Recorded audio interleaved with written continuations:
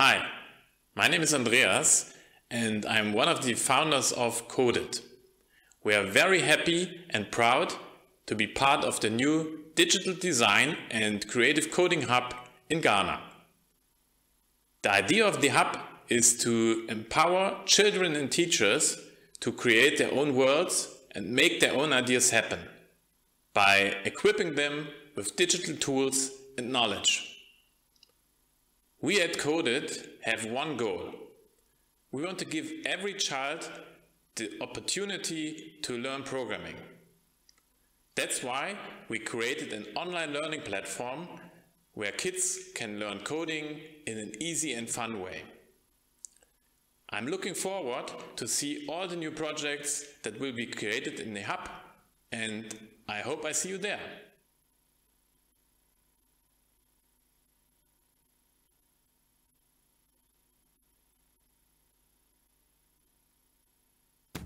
What is coding?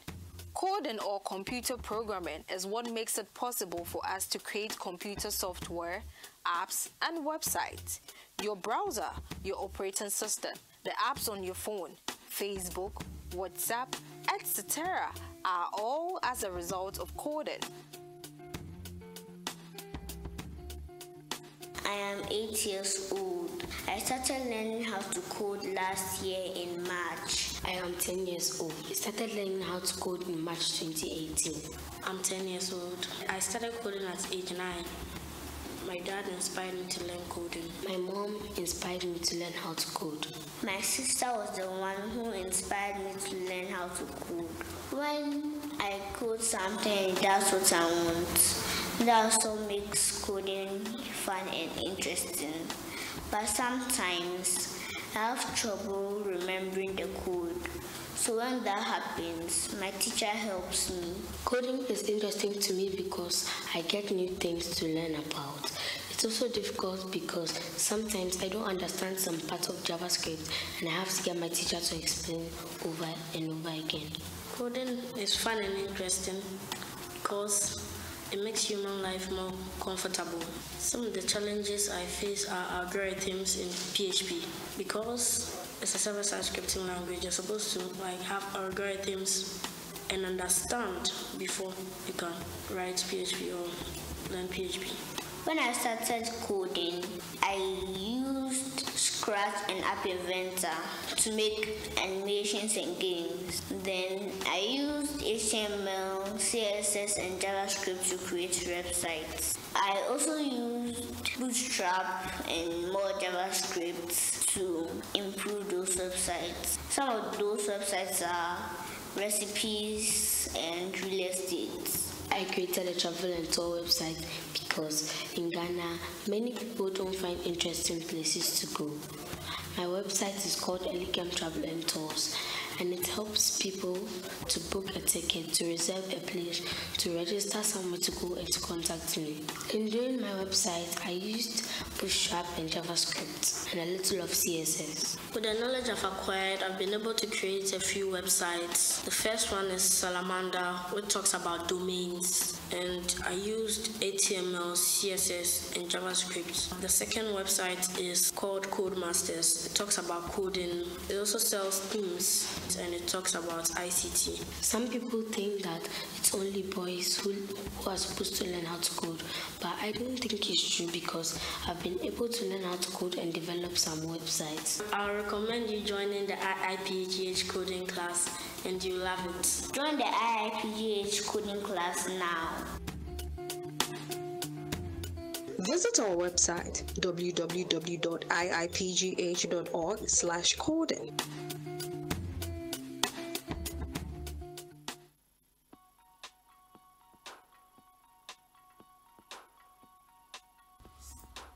Hi, my name is Sebastian and I'm the CEO of Tinker Toys in Germany.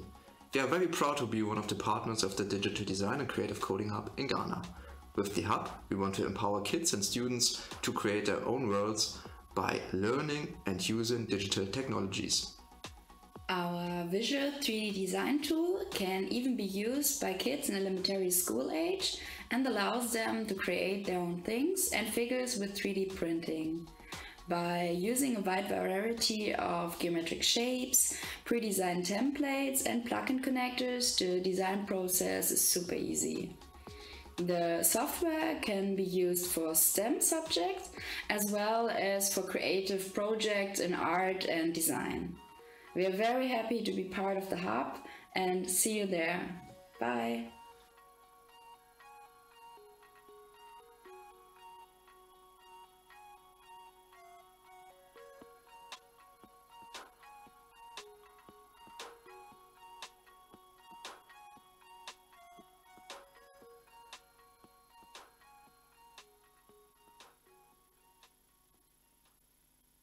The Coding Project. With a move towards digitization worldwide, more people, including those living in developing countries, are participating in the digital economy. The digital economy is going to be even bigger with the commercialization of digital technologies such as artificial intelligence, data science, blockchain, cloud computing, Internet of Things, machine learning, and mobile applications. This presents opportunities for transforming our economy, which will make us competitive in West Africa and allow young people to find decent jobs or start their own businesses. Our unique coding method has been introduced in the Alpha Beta School, Dansoman. I think it's, it's a great initiative. Thank you.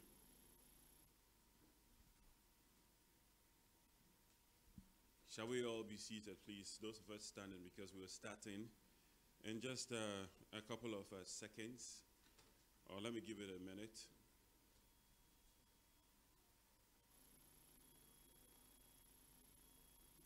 Let's allow only the official photographers and then videographers to do the standing and then walking around.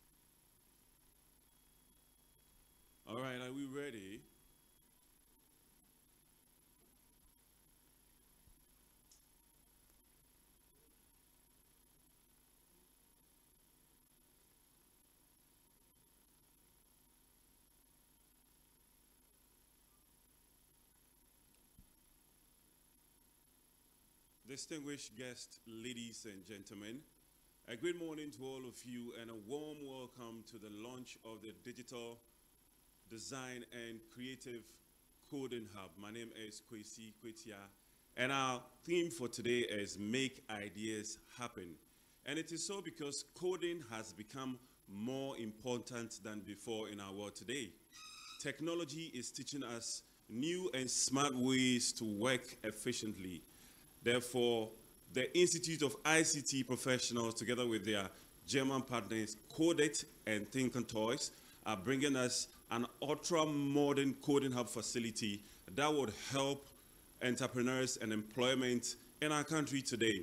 And I think this is something that we should all be very grateful for. We should embrace it because technology is leading the way all over the world today. And I can assure you that when we embrace this, we will also find ourselves competing in the new normal and making the change that we all need.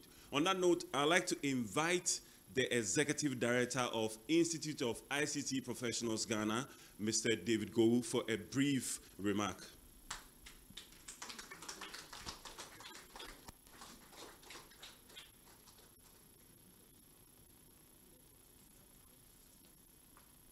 Thank you very much,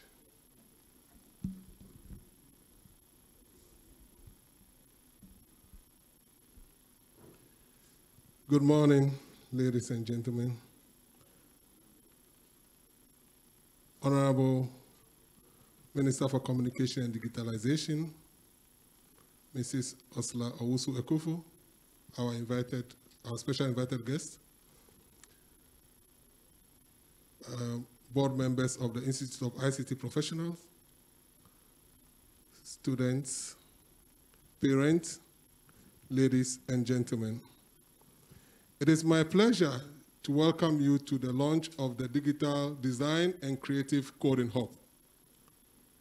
Today marks the beginning of another era for our relatively new professional association. The Institute of ICT Professional Ghana, as we adore our, one of our new flagship programs, is poised to change the way children learn coding. The Institute mobilized ICT professionals to start the Coding for Kids initiative three years ago, a program designed to amplify the relevance of practical ICT skills development through computer programming. Professionals from IIPGH embraced the concept and embarked on a nationwide campaign through social media, radio and television interviews, workshops, webinars, and structured training sessions in classrooms and online. This resulted in over 10,000 students being trained on basic, intermediate, and advanced digital skills, with coding as the main focus. The activities of IIPGH quickly caught the attention of diaspora partners such as Code for Africa, Codit, Tinker Toys, AFOS Foundation, all from Germany.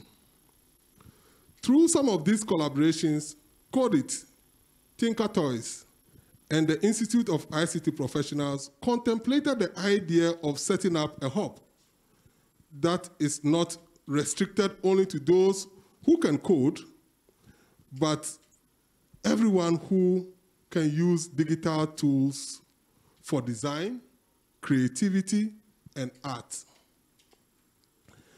The notion that some people, particularly girls, cannot aspire to become software engineers, digital designers, or robotic experts is not true. The Digital Design and Creative Coding Hub is here to dismiss this myth and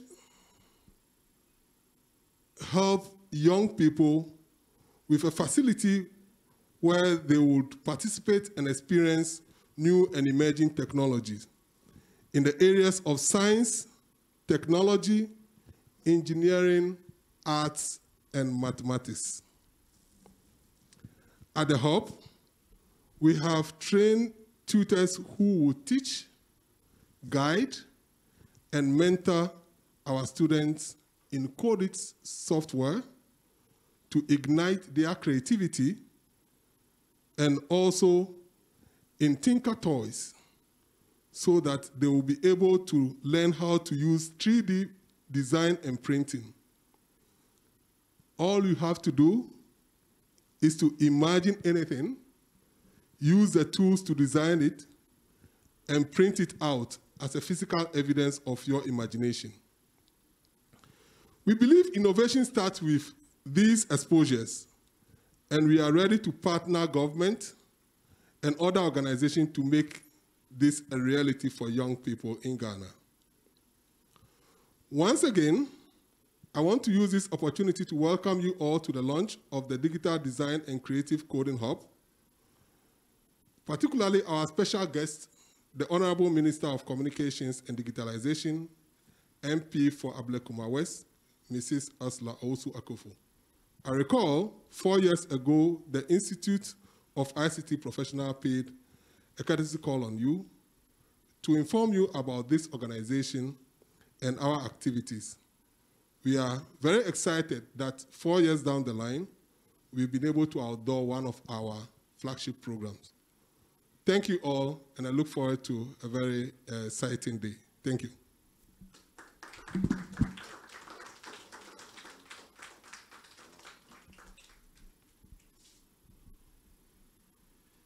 Executive Director of the Institute of ICT Professionals, Ghana, Mr. David Go, giving us a thorough overview of what the Digital Design and Creative Coding Hub will look like. Before I continue with the rest of the items that I have here online, let me quickly acknowledge some dignitaries that are with us and then some other partners. I'd like to acknowledge the presence of the Deputy Director General of General Operations National Communication Authority and board member of the Institute of ICT Professionals Ghana, Mr. Prince Sefa.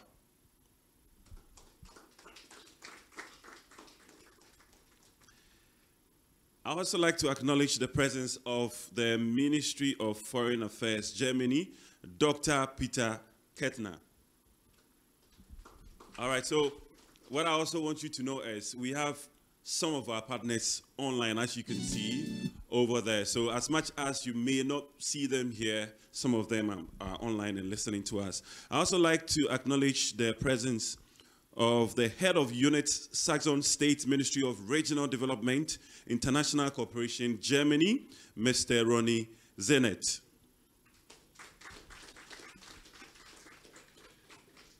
President, Academic City University College Board Chair, Institute of ICT Professionals, Professor Fred Mark Bangolori. Thank you. Deputy Minister Designate for Foreign Affairs and Regional Integration and MP for Mampong, Honorable Kweku Ampratwum Sarpong. Uh, thank you very much. In between time, as some of our dignitaries join us, I would come over here and then also make sure that they are duly acknowledged. All right, so ladies and gentlemen, we're going to move on to a brief introduction to into Tinker Toys, and I'd like to call on the. No, let's do Coded before, and I'm going, I'd like to call on the CEO Coded Leipzig, Germany, Mr. Andreas Koch. Thank you. Um, good morning uh, here from Germany. Um, I'm, I'm, very happy to see uh, that we have so many people uh, attending live at the hub and also online. It's very exciting to see this uh, here from Germany.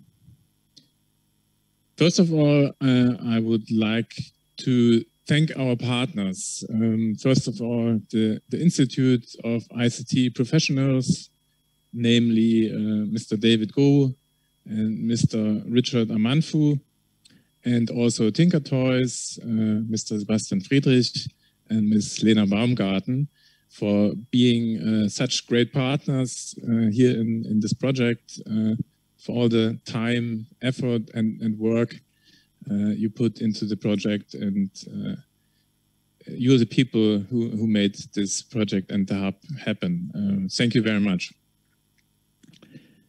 next, I, I, would also um, like to welcome uh, Ms. Owusu Ekuful, the Minister of Communication in Ghana.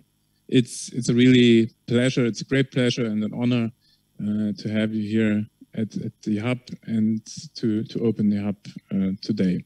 Thank you very much.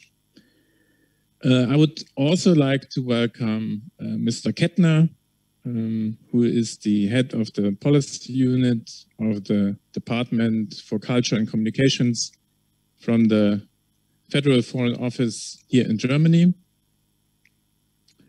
And then uh, I would also like to welcome Mr. Zienert, um, who is the head of the unit of innovation management, EU and international cooperation at the Saxon State Ministry of Regional Development. And of course, uh, I want to thank all the participants uh, who joined in our training workshop that was part of the project. Uh, thank you all very much for, for all the great feedback uh, you gave on, on Tinker Toys and Coded. Um, and we will have a presentation presentation of them uh, later at the opening here. And I'm, I'm very happy to see all the, the kids uh, in front of the, the computers using Coded and playing around with it. Uh, very welcome to the hub, uh, especially also to you, to the next generation. Uh, it's it's a real pleasure to to see you all there. I hope you're having fun. Um, yes, and and also uh, I want to thank everybody who's who's joining us uh, live and uh, online uh, via Zoom here at the, the opening. And I'm, I'm hoping very much that uh, many of you will will use the hub in the future to to make your own projects happen. To yeah, um, use use the, the the hub we're creating here. Okay, um, I would now uh, like to use the time to introduce you very briefly to uh, it. Um, yeah, I would need to share my screen. Uh, if the host please can allow me to share my screen.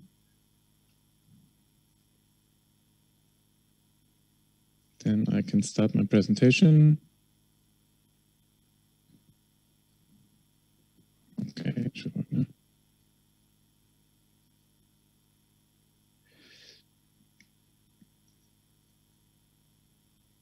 Okay. Coded is a online learning platform that teaches children coding in a very easy and fun way. In our digital world today, um, digital skills and especially coding and programming becoming more and more important. If we want our children to be able to understand and to shape our digital world, we need to teach them at least basic coding skills. We at Coding are convinced that coding and, and programming will become one of the most important skills in the future. We think it will be as common as reading and writing is today.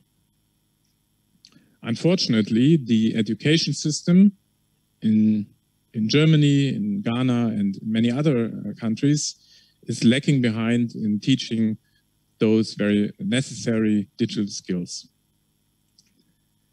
Those are the reasons why in 2017 we started uh, Coded because we have the aim to give every child the opportunity at least to um, learn coding and, and, and try this uh, and see if, if they're interested in this. What is the online platform Coded uh, offering? The, the central feature of Coded are our interactive self-study online courses. In, in those courses, we teach the kids basic programming concepts. We don't teach a specific programming language, but the basic concepts that are uh, equal in every programming language. To teach this, we use, we use uh, motivating content. Uh, we don't want to make coding dull. We use games, animations, uh, stuff that uh, really cap captures the, the interest of the kids. But Coded is more than just a learning platform.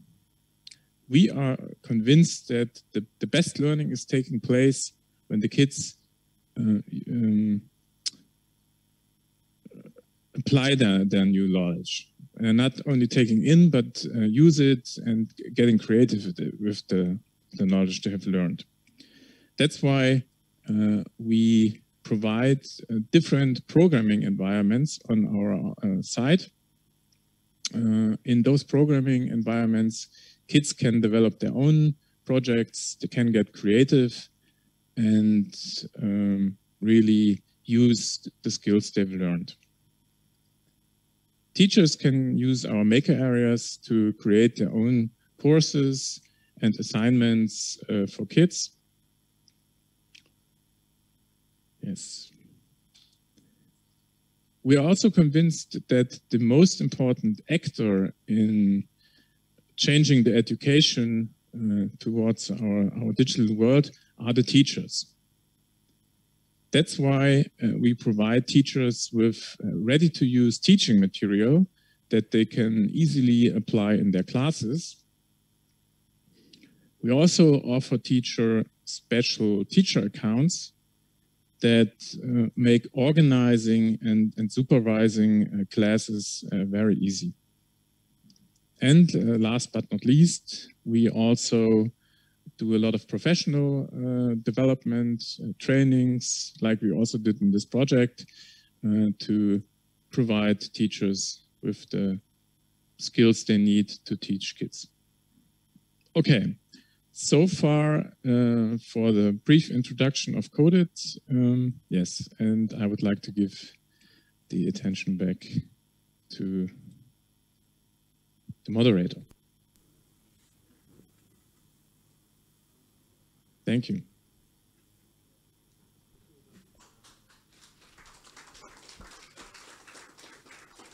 Thank you very much, Mr. Andreas Koch, CEO Codet, Leipzig, Germany, giving us an overview of Codet, some of the tools that uh, we need to learn and also to upgrade ourselves so that, you know, we can find the best ways to do things. And it's obvious now to all of us that in some few years or months to come, we'll all be working from home. Because, I mean, if you have the computer at home and uh, everything is well organized and centralized, you can work from your home and deliver on point like your boss would want you to do. So that was a very good one. We're going to have another session of overview, and I'd like to call on the CEO of Tinker Toys Leipzig, Germany, Mr. Sebastian Friedrich. Hello, everyone. Let me start by saying that we are very happy to be part of the hub, and um, we want to thank all the partners, all the trainers, all the sponsors, um, all the development partners, all the government partners for bringing this hub to life and uh, give many kids the possibility to yeah, shape their future by learning in the hub and uh, create their, their own future. Um, I would also be happy to share my screen. I uh, prepared a brief introduction to Tinker Toys.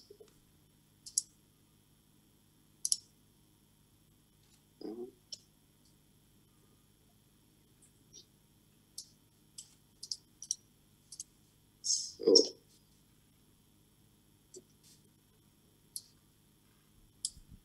yeah, let me start by saying that we are um, a company that um, is focused on making 3D design for kids as easy as possible. Our vision is to empower kids to create their own worlds by using digital manufacturing tools, as you can see in the picture. Um, it's already been super easy to, to use tools for creating your own apps and softwares and games uh, with tools like Scratch or Code, Coded Studio that you saw from Andreas uh, just now. But it's always been pretty hard to, to make physical goods. Uh, basically, create your own toy or create uh, things in the real world for 3D printing um, has always been something that you, yeah, basically needed an engineering degree for to do it. And uh, our goal was to change that.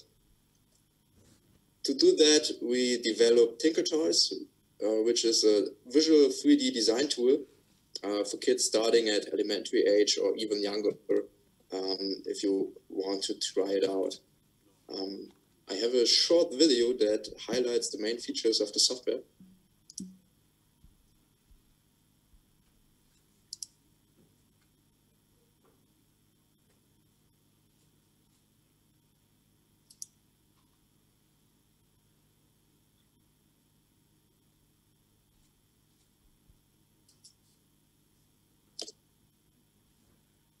It seems like we're having a uh, technical issue here. Um, so let me move forward to the education material. Um, our software is uh, based around a visual 3D canvas that allows you to uh, create your own products by using geometric shapes, uh, pre-designed templates for uh, maybe cars or figures, uh, stuff that you know uh, from the television, robots, or basically anything that you want to do. And you can also use um, connectors for uh, moving arms, spinners for tires of your car, uh, basically everything you need to create things in 3D. Around this software, uh, we developed a wide range of education materials. Uh, some of them you already uh, saw uh, in the trainings uh, if you are a mentor of the hub or a participant in the trainings. right now we offer 15 learning units with a wide variety of subjects. Um, starts with basic mathematics and geometry, um, over creating your own solar system uh, and even bigger projects where you learn to create your own innovative product by using uh, design thinking and other innovation process tools.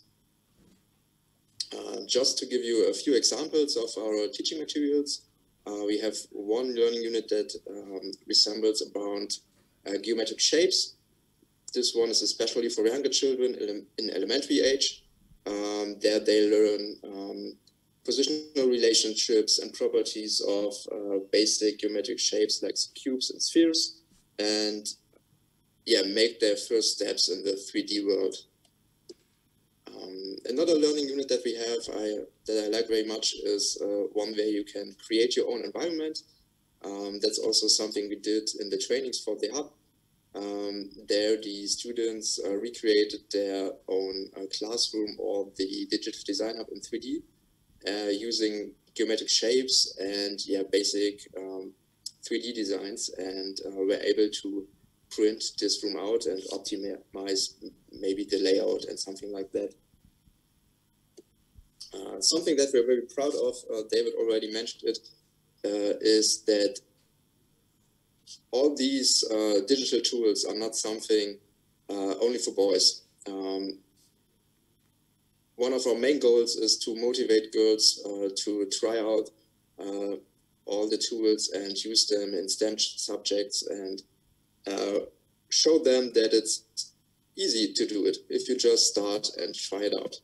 Um, we are very happy to see that uh, in our software we have 40% girls and 60% boys. So there are already thousands of girls in the world uh, that use our software, and yeah, you can do it too.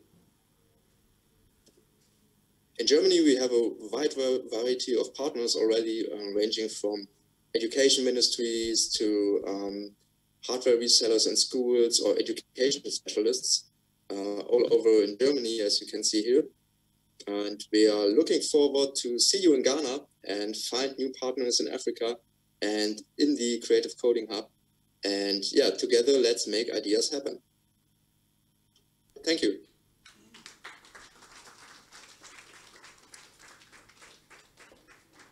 Thank you very much, Mr. Sebastian Friedrich. And we just took a trip to Germany. How many of you enjoyed your business class trip?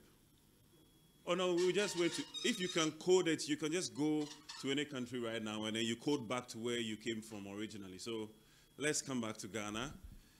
This is where we can see each other clearly. And I'd like to introduce our next speaker. He's right here with us and he happens to be the Director of Operations, Institute of ICT Professionals, Ghana, Mr. Richard Kafui Amandu. Amanfo.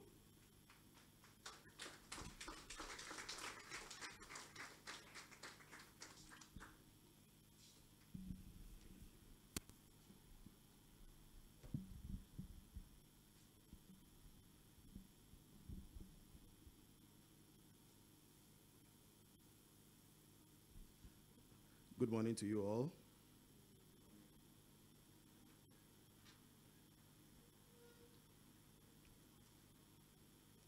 And welcome to our hub launch.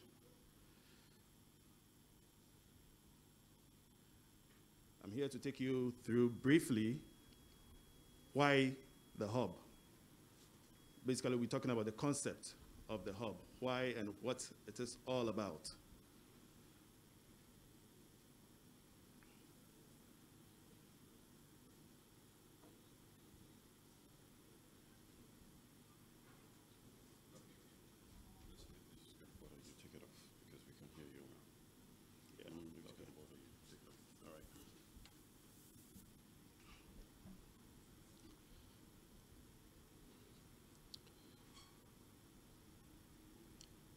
Start off with, we'll have a little conversation around uh, the background of digitalization,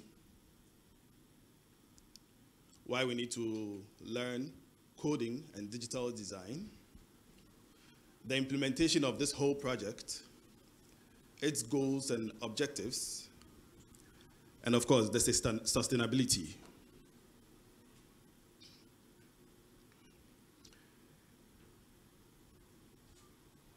In every revolution,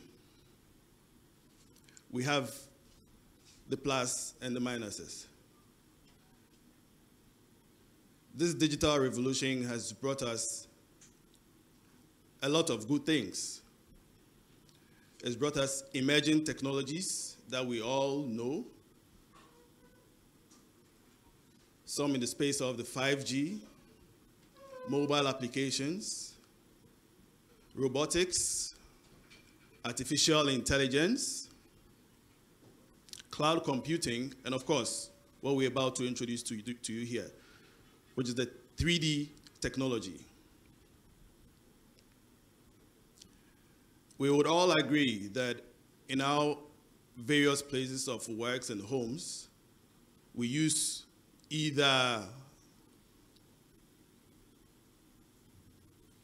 artificial intelligence products or services. We are engaged in bits and pieces of robotics here and there. And it would interest you all to know that even uh, some of the vehicles we use, or all the vehicles we use, are powered by some of these digital technologies we have with us today.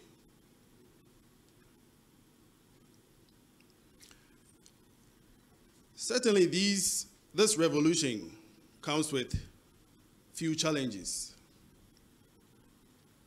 And notably, we are very concerned about the skills gap. This digital skills gap, which is either in our homes or in our workplaces, is something that we are very keen on helping to tackle. Digital skills can be seen as both expensive and inexpensive. Of course, if we have setups like these scattered around the whole country, rightly, many of them will be very expensive to afford. Others have issues of scaling up or expanding the setup, and certainly sustainability is also a challenge. We have lack of qualified instructors. There are many of such setups that are struggling to find the right tutors to help teach young ones in a very particular way. This day, we would all agree that teaching is not what it used to be like before. There are other issues such as infrastructure, where we need to take care of. If the country had such facilities scattered around, I bet we'll be having a different conversation here today. There is also the issue of lack of rele relevant curriculum. So even the setups that are there, in one way or the other, are struggling to find the real, the, the actual required curriculum to be able to teach participants or people who visit such facilities. How do we address these challenges? We as an outfit here, we are poised to help to achieve a goal, which is addressing such digital challenges. It's very important that we take into consideration the need to learn new skills. And talking about skills, we are talking about digital skills from basic to advanced. Like the other guests rightly said, if a child could have at least one basic skill in computer programming or coding, then it will be a good skill for the future. So it is important that we introduce new learning skills in the field of digital technology from, ad, from basic to advanced. And for our outfit, we are more focused on the children because they are the future. There is also the need to consider issues of inequality associated with gender, geographical location, and also persons with special needs. Once again, all the speakers have mentioned the focus on the female inclusion. And it is what we are actually thriving to achieve. We want to have more females participating in the field of technology. The myth or the, the, the, the understanding that this area of, of, of, expertise is only for the male child isn't true.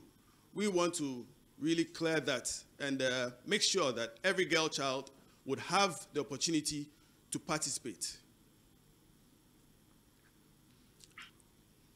What are we here for? What do we stand here as a, as, as a hub? Rightly, as you can see, it is a showroom for these tools so we can have better digital learning concepts and creative works for both private and business use.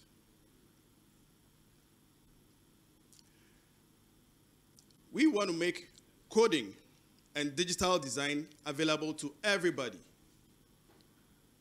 and to be able to access these tools and to have new approaches to teaching and learning.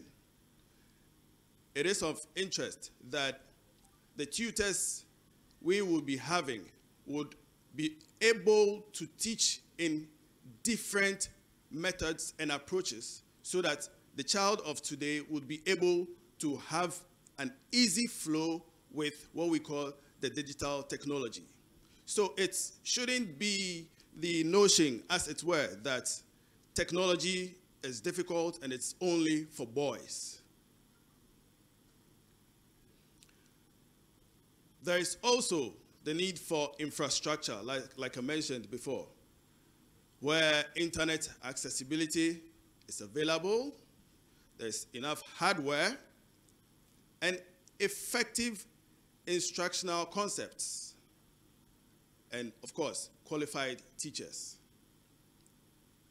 We as an outfit or as an organization have been able to train young ones to become our tutors for this project, we have trained over 25 tutors drawn from schools, from professional organizations, and individuals who just graduated from tertiary and have been seeking for job.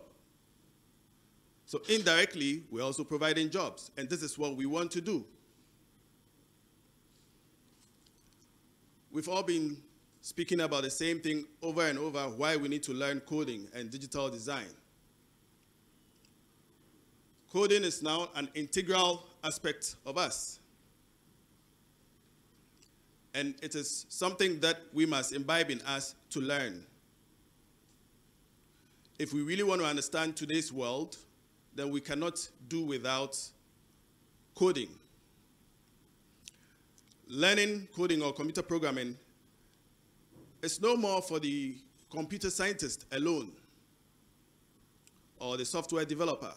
There are many students now graduating from the tertiary from fields like sociology, information science or information studies, geography, name them, biochemistry, who are now delving into digital technologies. They are learning these things because of the nature of the world today. without having a skill set in digital skills, you would struggle in your traditional field of expertise. Today, as we have banking, it's all about digital technologies or the digital platform. You wouldn't want to be a banker for the next 30 years where you cannot even understand a simple digital technology or a digital platform or a digital solution. So it is really important that we all try to learn programming or coding. And for the kids, it should be a must for each and everyone to learn at least one programming language. For this reason, we're talking about creative coding, which is just the artisan side of programming, unearthing your, your creativity, unearthing your ideation. We are saying that learning coding, putting together with creativity, gives you an edge to explore in a very free manner and interesting manner where you put your thoughts and ideas together in a playful way. So we're talking about making it expressive and interactive, unlike functional as it used to be. How do we want to implement this project? First of all, we need to have the technical setup. Like this we have. The notebooks, as you can see rightly in front of the children. The smart board, as it is here, which is very interactive. Interactive as in you can have multiple connections at a time. You can have your, your whiteboard and you can draw your designs. You can do your simulations and have other participants get connected to it. You share your screen and you have a very interactive work around it. To be able to have this technical setup running, we need, of course, the softwares, which our German partners have rightly provided. We have gone through series of trainings with the tutors, and we've had series of workshops with some of our students, which is Codit and Tinker Toys.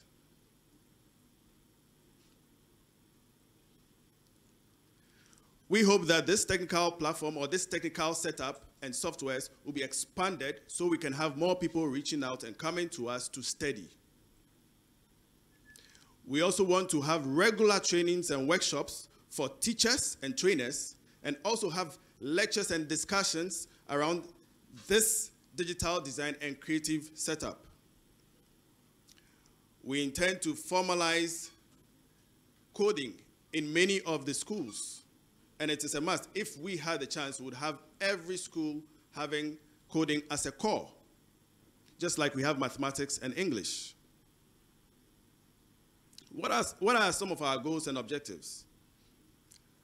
We want to create a space so everybody can come in, and this is what we have done. That's the first. We have done that. And want to encourage learning by doing, by organizing hackathons and competitions so schools can come in and have competitions amongst themselves. We can organize hackathons for all, all other interested professionals. We also want to continue to educate or to train people in a broader spectrum of digital skills, which is from basic to advanced, including teachers and ICT training, trainers, because that is the foremost. If you do not have the right tutors, then the narrative is just wrong. We want to also assist organizations and institutions, especially the educational institutions, to develop and strengthen sorry, ICT training programs and materials. More importantly, more importantly, like we, we have been discussing, we want to have a focus and have specialized ICT training programs for the females and the disadvantaged. The hub shall also become a lab for research on emerging technologies and digital skills development in the Ghanaian context. We want to localize many of the solutions and the learning platforms so it will suit and relate to the ordinary Ghanaian. To add to this, we want to have, we want to enable knowledge transfer such that it wouldn't only be having just the corporate uh, corporations amongst us and other corporate bodies, but then after these corporations, knowledge should be transferred to both the tutor and to the ordinary participant. In this case, I'm talking about the public. How do we sustain this facility? Of course, we as an organization would have to generate financial resources to be able to provide professional services to the public. Would have tailored workshops and trainings at regular intervals for all participants who would be interested, and of course, we'll take a token for maintenance. Other technology trainings and exhibitions and boot camps will be organized to raise funds to subsidize some of our trainings for students and teachers. In addition, our 3D printers shall be used to create prototypes for artists and engineers, architects, etc. Later on, we'll show some of the designs we've been able to print so it can relate with you. And of course, when these printouts are done for these artisans or interested persons, there will be a fee, appropriate fee charged for it, so we can able to sustain this project. The Hub is also interested in partnering organizations to develop proposals and also to respond to requests for proposals so that we can bring bigger projects to the hub. Finally, I'd want to say that partners and sponsors who are interested in exhibiting their products or their digital solutions at this hub can come in to do that and will charge the appropriate fee for this. This, these are, in a nutshell, what we envisage to do as a hub and as a project. Thank you very much, and thank you for listening.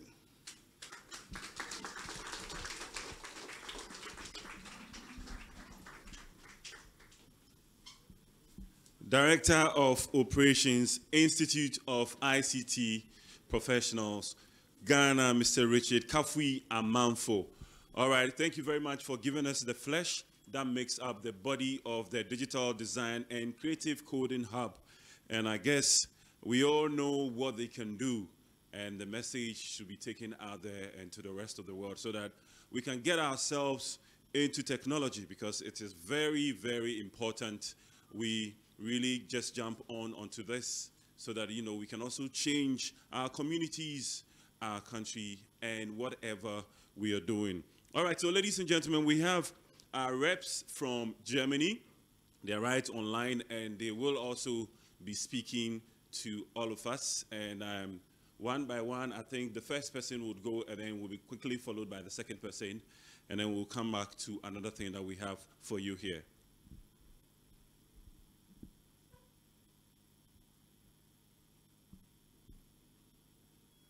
Hello? I, I, guess I, I, guess you remember me, so I'll start. Uh, hello, my name is Peter Kettner, dear participant. Um, hello, everybody. And I want my warm greetings to all of you, um, and especially, of course, to you, the participants of the workshop. Um, thanks for including me uh, in the official opening of the Digital Design and Creative Coding Hub. Um, you know, the COVID-19 pandemic has shown us the importance of innovative cross-border cooperation, um, especially regarding technical, technological endeavors.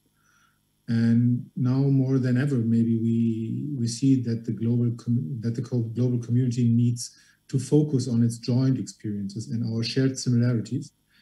And we feel that creative industry sector is a strong foundation for and um, advocate of bridging cultural and social gaps and diminishing social and gender inequality. Furthermore, the sector brings about economic growth. So creative industry sector um, is and, and calls for innovation, creativity, new approaches, and thoughts, and thus encourages especially young and diverse minds from all backgrounds and all over the world. The German Foreign Ministry has been an advocate and supporter of the sector for quite some time. And, and with its call for proposal in uh, 2019, um, or with our call for proposal in 2019, we aim to particularly support the subsectors design and gaming, as well as in Europe and in Africa.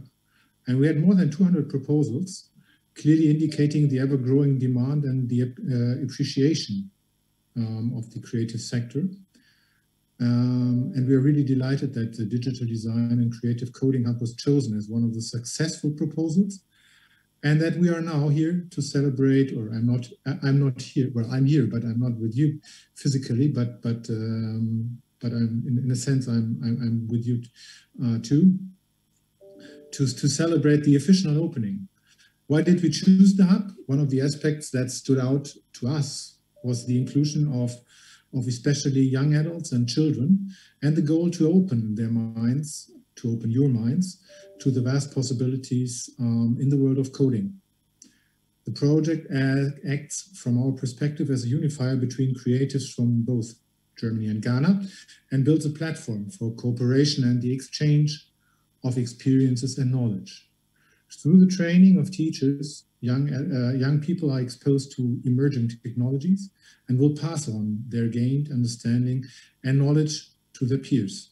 That's the aim, and, and, and that can really change not only people, but, but also societies. Thus, the national and international cooperation is lastingly uh, inspired and promoted through this hub from our perspective.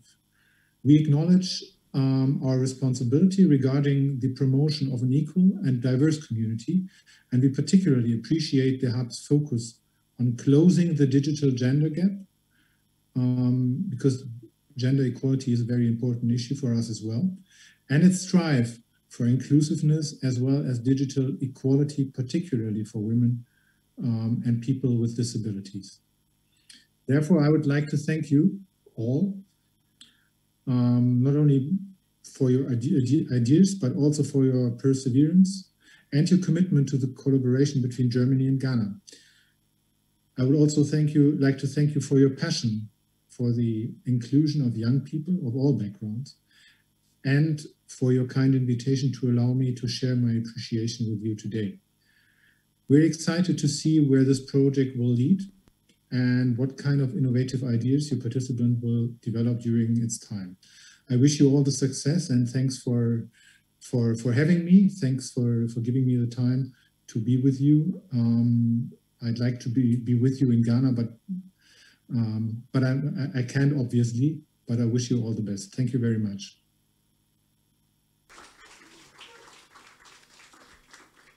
Ladies and gentlemen, that happens to be Dr. Peter Kettner from the Ministry of Foreign Affairs, Germany. We are going to take another one, and he happens to be the head of unit Saxon State Ministry of Regional Development International Cooperation, Germany, Mr. Ronny Zienert. Thank you very much. Um, dear Minister Owusu Ekuful, uh, dear Mr. Gobu and dear Mr. Amanfo. I agree with you in all things, on all things. Um, you make a great job. Ladies and gentlemen, uh, dear children, you have heard a lot. Uh, I just want to say a little. Ladies and gentlemen, it's an honor and a pleasure for me to be able to participate in this opening and to speak to you. I'm happy to convey the best greetings from the State Ministry for Regional Development of the Free State of Saxony. I've already been introduced. My unit deals with exciting topics for the future. We want to promote innovation and added value. Our approach is innovation-based regional development. We actively cooperate within our state and with international partners. The European Union and the Committee of the Regions are some of the issues and tasks we deal with. Before today's opening, I got to know Mr. Koch and Mr. Friedrich. I was very impressed by the project and the two entrepreneurs. They have the courage to go abroad with their companies and products and to become globally active. We support that. There has to be more international cooperation, also in the creative industries. That's why I gladly agreed to participate. Five years ago, we launched the initiative SIMUL Plus. The focus is on innovations. We want to promote innovative ideas and projects in order to accelerate regional change and to set new growth impulses in the Saxon regions. The Latin word simul translates, translates as together. This is the guiding principle of our work. We want to achieve added value, a plus, by bringing together partners from companies, scientific institutions, cities, associations, clusters, and interest groups. We want to develop innovative ideas and project, projects together. We have set up a virtual hub for this purpose, the SIMUL Plus Innovation Hub. I see we all know about a lot about hubs. The Digital Design and Creative Coding Hub shows all the things we find important. More education, more digitization, more added value. Isn't it nice that today we can meet thousands of kilometers away? Networking and cooperation are important for adults, but it's also more important than ever for young people, for you, for you children. What is being created here in Accra for kids and teens cannot be found in Saxony. It's a lighthouse project. I would like to thank the Federal Foreign Office for supporting the project. Congratulate you on this event. I wish the hub every success, amazed children's eyes, and a long life. May the idea continue to grow, make ideas happen. Thank you very much. Thank you very much, Mr. Ronny Zienert. Once again, ladies and gentlemen, head of Saxon, head of Unit Saxon State Ministry of Regional Development, International Cooperation, Germany. And uh, we're going to have a demonstration from the Digital Design and Creative Coding Hub. And I would like to call on a couple of names that I have here, Richard, Andrea, Sebastian, Lena, and then the trainee tutors. We're going to have a demonstration right here so that you can have a feel of what uh, we are talk, uh, what is going on and everything about it that you need to know. So uh, shall we have all the names that I've mentioned and then the trainee tutors to join us here quickly so that the demonstration can start.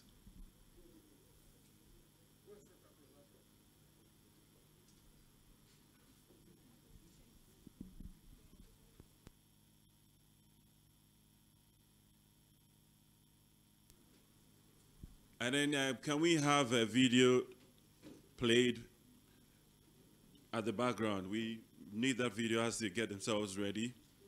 So a little video, I mean, not, the sound bite should be a little. Hold on, hold on, let me check it.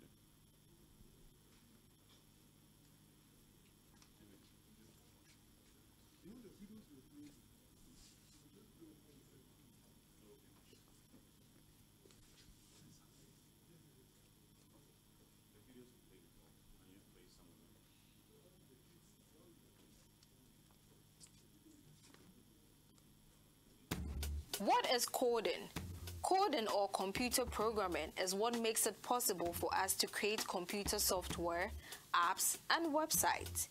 Your browser, your operating system, the apps on your phone, Facebook, WhatsApp, etc. are all as a result of coding. I am eight years old. I started learning how to code last year in March. I am 10 years old. I started learning how to code in March I was, I was hoping that you would tell us your name. It's very important. we get to know who you are and what you are about, what you're actually coming to show us. So a little brief introduction into what you're going to do will help all of us. Yes, so who is going to lead? Hello, good morning. My name is Deborah Ofori Date, and I'm here with my colleague. I'm Blessing Momo. Okay, so we are tutors of the Institute of ICT Professionals Ghana and also a part of the Digital Design and Creative Coding Hub project. And we are here to introduce you to one of our platforms, Codit. Yes, so please, I hope you enjoy it. Thank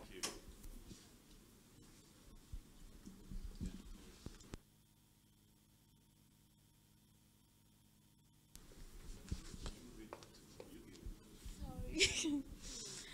So um, you can see on our screen here some blocks, and I'm sure most of our students are already familiar with this. So this is how the interface of Codit looks like. This is one of the games we are coming to create, and this is the Duck Race game. So um, as you may already know, Coding for Kids makes use of block-based programming. So these blocks, we put in other blocks that fit in perfectly, and it's interactive and fun for them to learn. So I'm quickly going to go through how to create this game, and then we play it out for you to see. So the rationale here is that a duck will be jumping on a track, and you have to play the game to let it miss all the potholes that are, are in front of it. So the first thing is that when the game starts, what should happen? We would like to first create our track here. So this is how it works. You go to any of these list of um, tiles and then select the code block that you need. You just click and drag it where it's supposed to be. So because there's not much time, I'll quickly go through what we are supposed to do. So we would want to, to move forward and then um, with the move forward, uh, one thing about coding is that it's a step-by-step -step process. So this move forward, we'll just let it move forward once, and I would like my colleague to demonstrate it. So the track has been created, and then you saw that it's moved forward once. Now what we want here is that it should continually move forward until the game is over, and that's where this comes in, that it should repeat until game over and then we put everything here, and then we demonstrate it.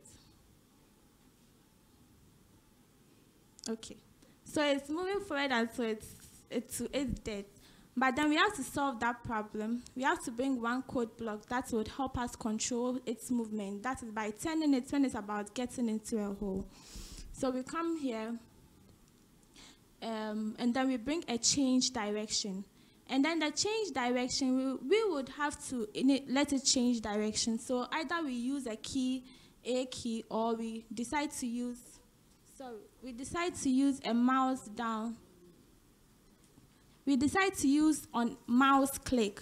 So I would like to use on mouse click to change direction. And then we demonstrate it here.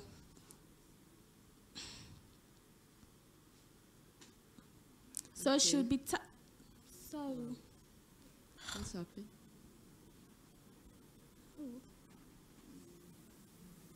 Sorry. What's happening? Okay. Okay. Wait, it's still loading. Are you using? I think your hand is. Okay, so let me run it again. So whenever it's about falling into a hole, she'll just tap it to for it to change direction. yes. And you can spice up the game by adding coins, um, picking up coins, adding points whenever you're able to pick up a point. So we come here and then we have add item coin. One important thing is that the, the, the process you go through is very important. And one thing about coding is that it follows um, order. So we would first want to add our item even before we create the track. Otherwise, the track will be created and there wouldn't be any coins on the track. So now we've added our coins. We have the red color here, so we expect that we have some red coins when the track is created again. So you see some red some coins the on red it. coins. Yes. Oh. I You can easily change the color here. So maybe a yellow. Okay. Yes, and you see our yellow coins. Okay. Okay. So um, the last but one thing we want to do is to add points whenever we are able to pick up an item.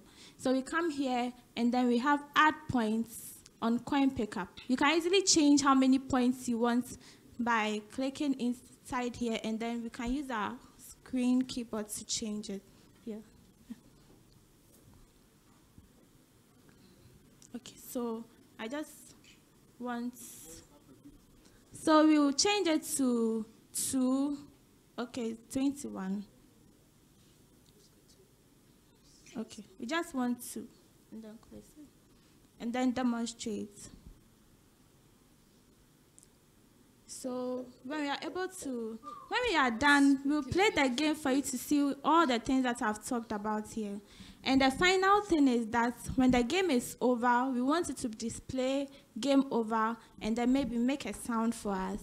So here we come to we come to graphics and sound and then we have show text which will show the game over when the game is over. You can change whatever you want to. So there is all here. We would want to change it to game over. Okay. Can you see? Yes, please close. So he will use the mouse to control the game.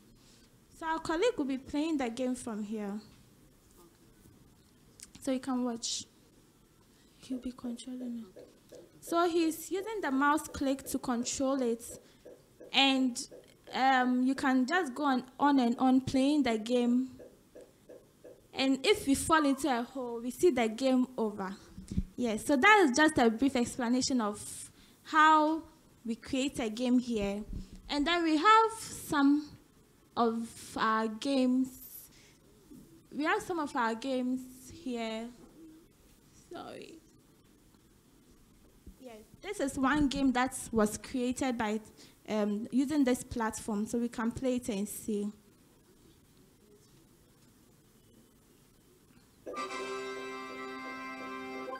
So the score is being shown there whenever it picks up a coin. And this is one thing that once the kids get their hands on, they can play and play and play on for hours. So we are here for all of you. When you come, we will take you to the basics up to the advanced level, and by the end of it, you'll be able to, you'll have mastered in creating your own game and animations.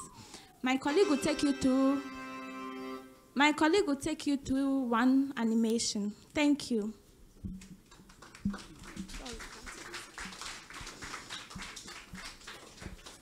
Thank you very much, Deborah. So, like you have seen the game, it can be very complex. It looks simple, but it can be complex.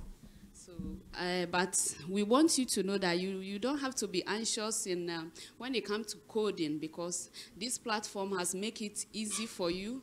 It has made it easy for you in such a way that you can code in a very playful, uh, playful way. So, like she said, it's a step by step, step by step. That's what we call an algorithm in uh, coding.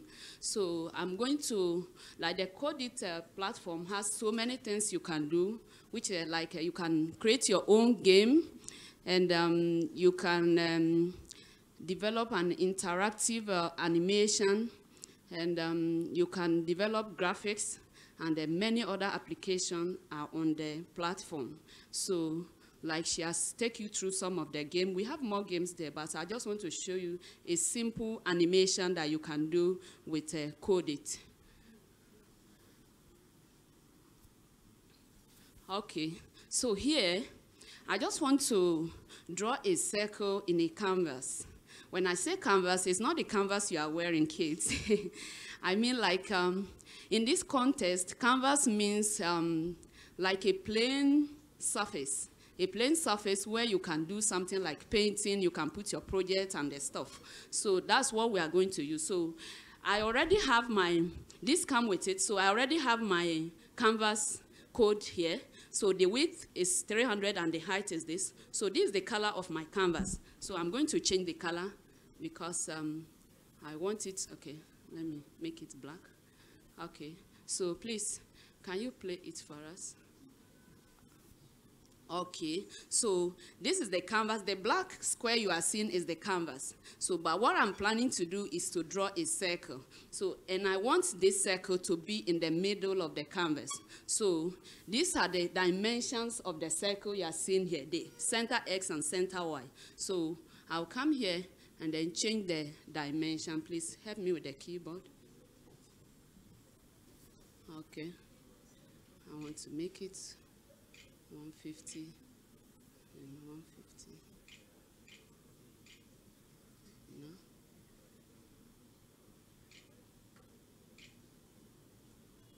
Okay, so I want my radius to be 100 at the beginning. Oh. Okay. So, who's it? Then please run it for us. Let's see. Okay, so right now you can see the circle in the middle of the canvas. So we can go further to make it colorful and nice by adding more circles and more colors to it. So um, I can just come here. Can I use the mouse to right click? So I want to just uh, duplicate it and then place it. And so I've duplicated the code I'm putting it here. Then I'll go to drawing, um, change setting and bring my free color. No.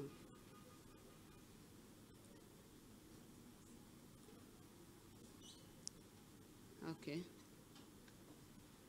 I'll add my free color here because I want it to be changing colors as I add more circles to it. And as I add more circles to it, I want the radius to reduce so that it will not overlap each other, so that each circle will come out. So I don't want the circle to overlap each other. So I'm going to reduce the radius so that you'll be able to see the colors that are coming out. So the second one, I'm going to change the radius to 80 instead of 100. So the circle still remain, but the radius has reduced.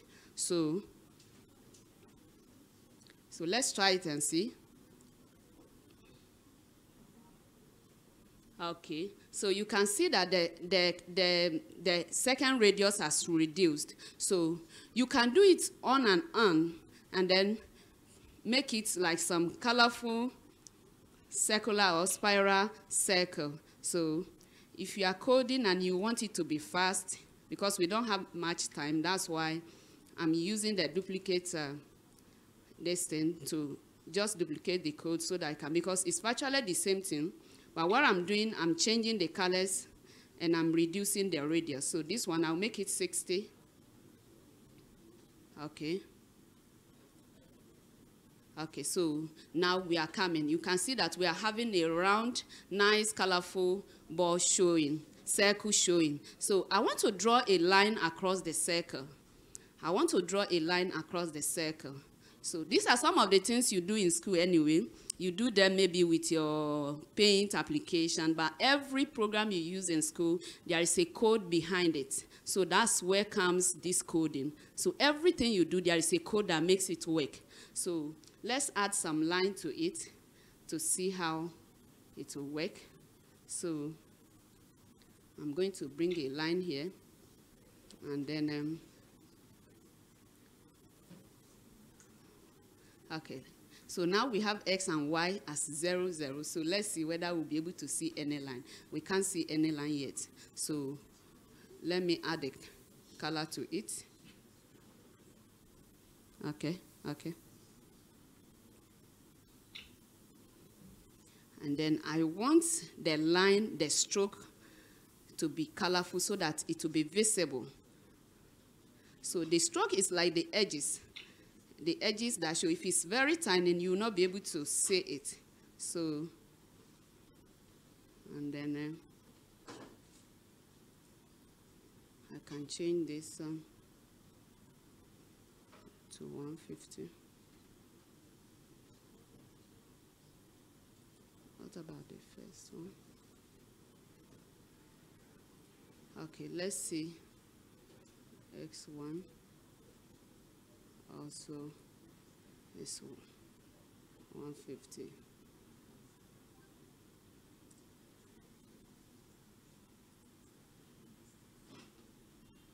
Okay, so let's run it and see what it will give to us. Can you see some small dots in the middle of it? Okay, so but we want it to be a line. What do we do? We can make it 300.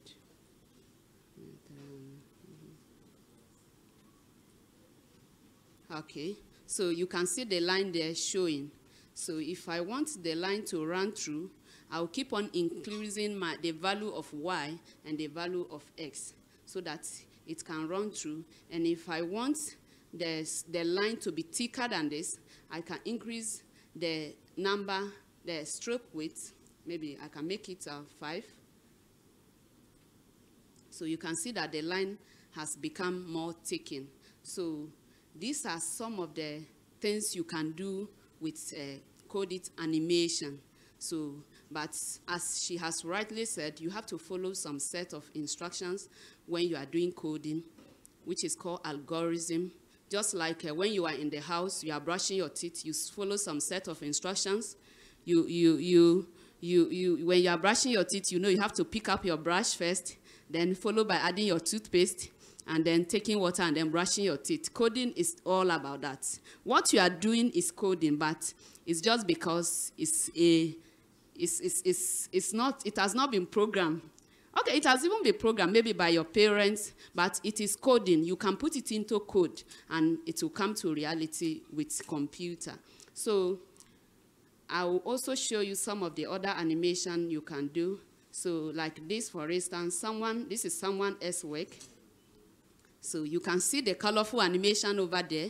So this is part of the things you can do with Codit and many more. So for the kids, I urge you to all come around and learn it and then we'll take you through from basic to advanced, as she has said, and then you enjoy it.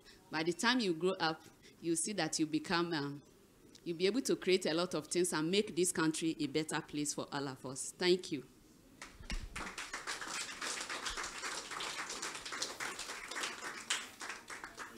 Yes, please. All right, so don't go, don't go yet. I would want you guys to stay here for a couple of minutes. How many of you enjoyed every bit of the presentation? All right, so obviously the kids are enjoying it better than the adults. That is how we are. We have been created like that. When you become an adult, it's as if all that you're thinking about is just um, the things that you have to be responsible for in life. Anyways, uh, do you have any questions at all so that you know we can ask them one or two things when they were taking us through something that they could have explained better here or there? So any questions at all that we can have from any of you? All right, so let me go to the gentleman over there. What's your name? Please, your name and then the question. My name is Royce. And go, go ahead. My name is Royce, and I really just want to know about that project, the one that they just Tutors, please, are you listening? Uh, please, we want your attention here because uh, Royce, the name is Royce, eh? All right, he's, he's a very distinguished gentleman over there. He's a man of the moment now, so please give him the ears. All right, so go ahead with your question again. Please, I just want to know about that project, the one that's on the screen right now. And how to make it.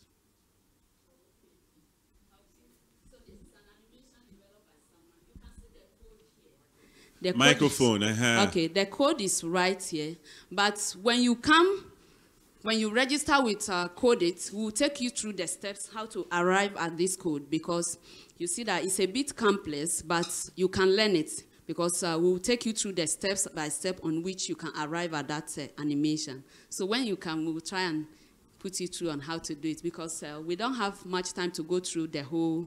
I know, I know. It's just. Yeah. Um, trying to get along with you. I mean, as tutors, we need to get to know you better. Yeah, so, I can see do we have any it. more questions from any of you? Well, we've got one from the children. And let me find out whether um, adults, um, men and women, distinguished men and women here, any questions at all? Because the point is, whether you're watching or not, your kids will definitely get into coding.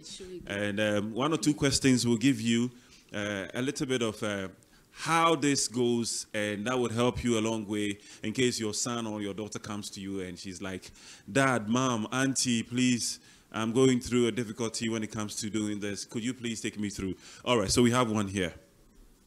Uh, ju just a quick question. Um, I see that um, you have a lot of, uh, let me call them pre-programmed options and things like that. At what point do you uh, introduce the kids to the source? If you do, Okay.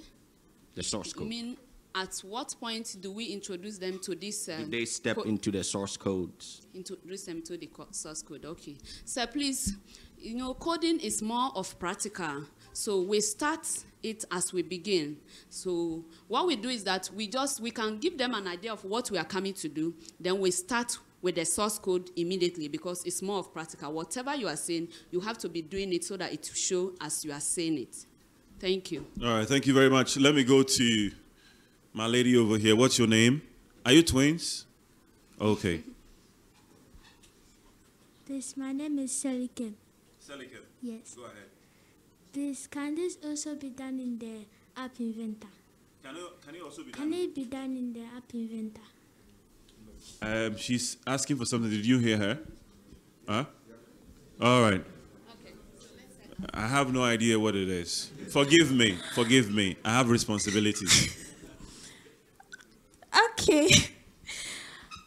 Um, App Inventor, for those of you who don't know, it's a mobile application app for kids. So it uses the same idea here, block-based coding, and we are able to develop mobile applications. So this can be done with App Inventor. And as um, Sally Kem is doing App Inventor, she's in the first level. So as you progress, we have the first, second, and third level. And I'm sure by the end of the third level, she should be able to do something like this. Thank you. All right, thank you. A round of applause for our tutors, ladies and gentlemen. Thank you. Once again, we would want to know your names. My name is Deborah Ofori Datsi. Deborah Datsy, Ofori. Oh, Ofori Datsy. Thank you, Debbie. I like the smile. How much would it cost me? Priceless. I have one million dollars. You don't want it now? Okay. How about you? My name is Blessing Momo. Blessing Momo. Thank you very much. God bless you. You can go now. And then um, we don't have to leave you. He's been working behind the machine, and we have no idea who this very well built gentleman is. We would like to get to know you. I didn't know that you had a mustache. Talk less of a beard. Well, thanks, thanks to COVID. All right, thank you, sir. Thank you very much. All right, so my, my name is Gabriel Nyamashte, and I'm also a tutor. All right, thank you, Gabriel. God bless you. We'll have another team coming from Tinker Toys to also take us through another session of demonstration. And um, quickly, please join me here so that we can see all of you. Introduce yourselves to us. Let's get to know you. Let us know who will be leading the introduction and also what you're here to do. All right? Thank you.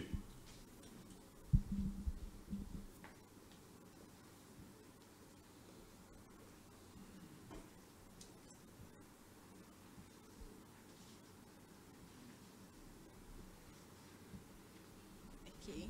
Hello, everyone. Please, my name is Barbara Siama. I'm here with Jeremy Adolfo. Samuel Corey. So, um, we are here today to take you guys through one of our platforms. This is called Tinker Toys. So, I'm sure as you came in, you saw some 3D printers over here. So, we are going to take you through how to design some of these 3D models with this web application called Tinker Toys. All right. All right. So, we want it to be very interactive. We want all of you to get involved. So we are going to be building this model with you, all right? So we'll be building something like this. This is a very simple key holder. So we are going to start one of these models. I hope you guys enjoy it. All right. Okay. So the first thing we'll be doing is to choose one of the shapes to start. So we're going to start here. There are a lot of shapes here that you can choose from. But we are going to start with a pentagon.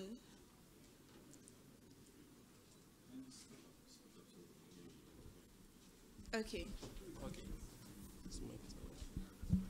All right. So you can see that we have our pentagon shape activated over the plane, right? And there are some arrows on the shape. So these arrows are to enable you to um, resize the pentagon, all right? So with the help of our smart board here, we can use this to um, help the kids to be able to understand or, and also be able to interact with the program that we have over here. So, they're they, also supposed to be doing it? Exactly, I think so. Okay. So when I drag,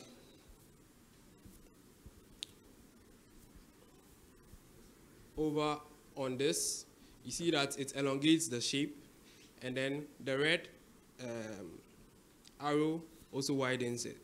So I don't know if someone can try. Hello, what's your name? Amma. Amma, would you like to try? So with a smart screen, you can just touch and then drag it and then it will elongate it. Okay, so exactly, exactly. Beautiful. Nice. That's okay. Thank you very much. So we are going to move on to the next thing. So we want to, this is a key holder as I said. So we want to add, to customize it, all right? So we want to put a name on the key holder. So in case your key holder gets missing, somebody can return it back to you if they know your name. So we want to figure out a name. Who can give us a name? Maybe a day name. Hello, what day were you born? Do you know the day you were born? Or what's your name? On Friday.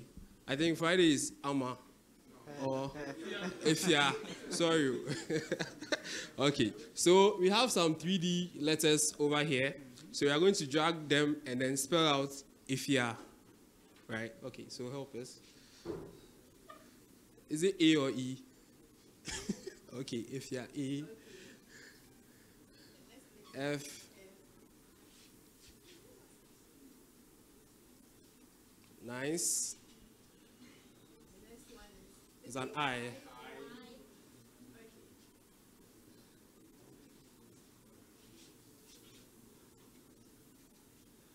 Beautiful. And then an A, right? Nice. Okay.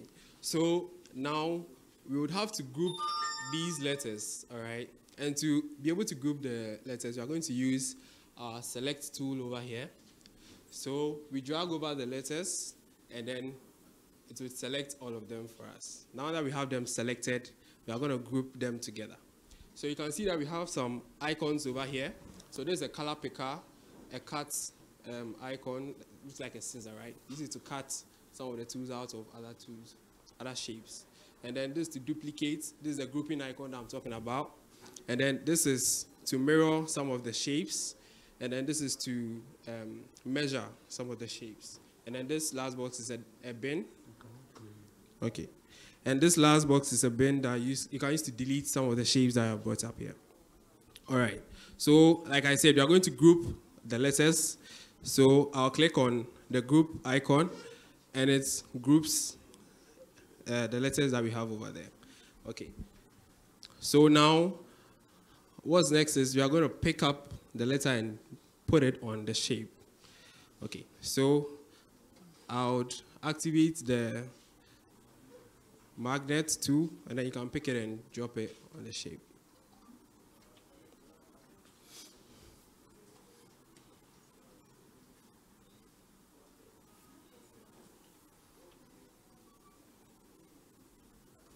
Okay, I think the I wasn't selected during the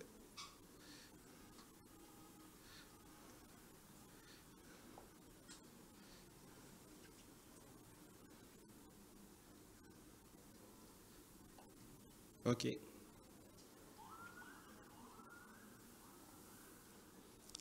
So we are going to have our key holder over there called Efia. Okay. So now we'll need a hole in the key holder where we'll be able to put our keys through that. So how do we create the hole over there? All right. So we are going to use a cylindric tool over there and penetrate through our key holder over there. Okay, so now what we want to do is to reduce that cylindric tool. So we're going to use the proportional scale icon and then we'll reduce the size of the tool over there, the shape over there. Okay, I think it's nice. Nice. And then we'll elongate it. Okay, would somebody like to try? Hello, what's your name? Otu, would you like to help us?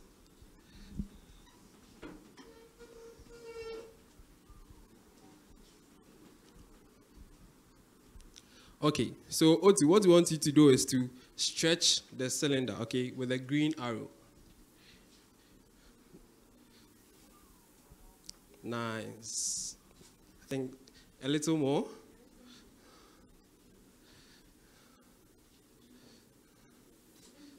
Yeah, so select it with it. Uh-huh, and then drag the green arrow. Beautiful. Okay. So then you are going to position the cylinder in the key holder.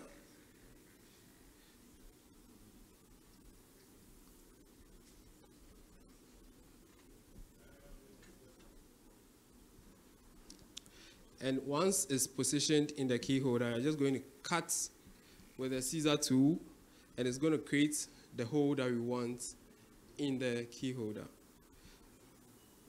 All right. So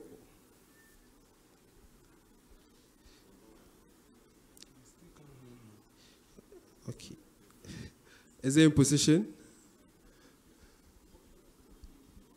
Maybe somebody can help us with a scissor too. Maybe the guys at the back. Hello, yeah, you, what's your name? Kekeli. Kekeli, please, can you come?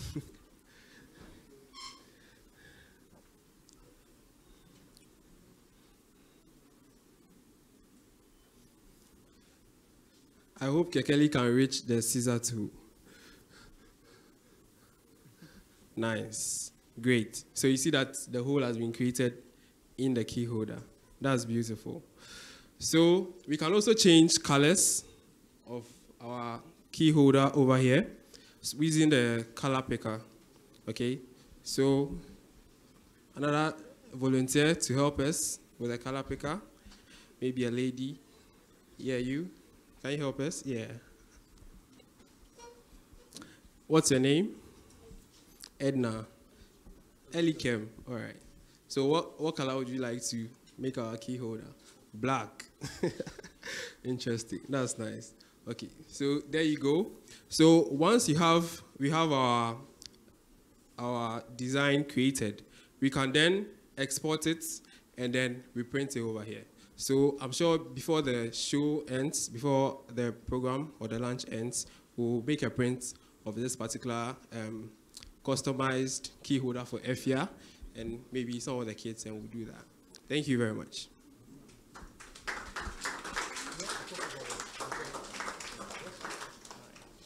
Okay, so I hope you enjoyed that session. Any questions so far?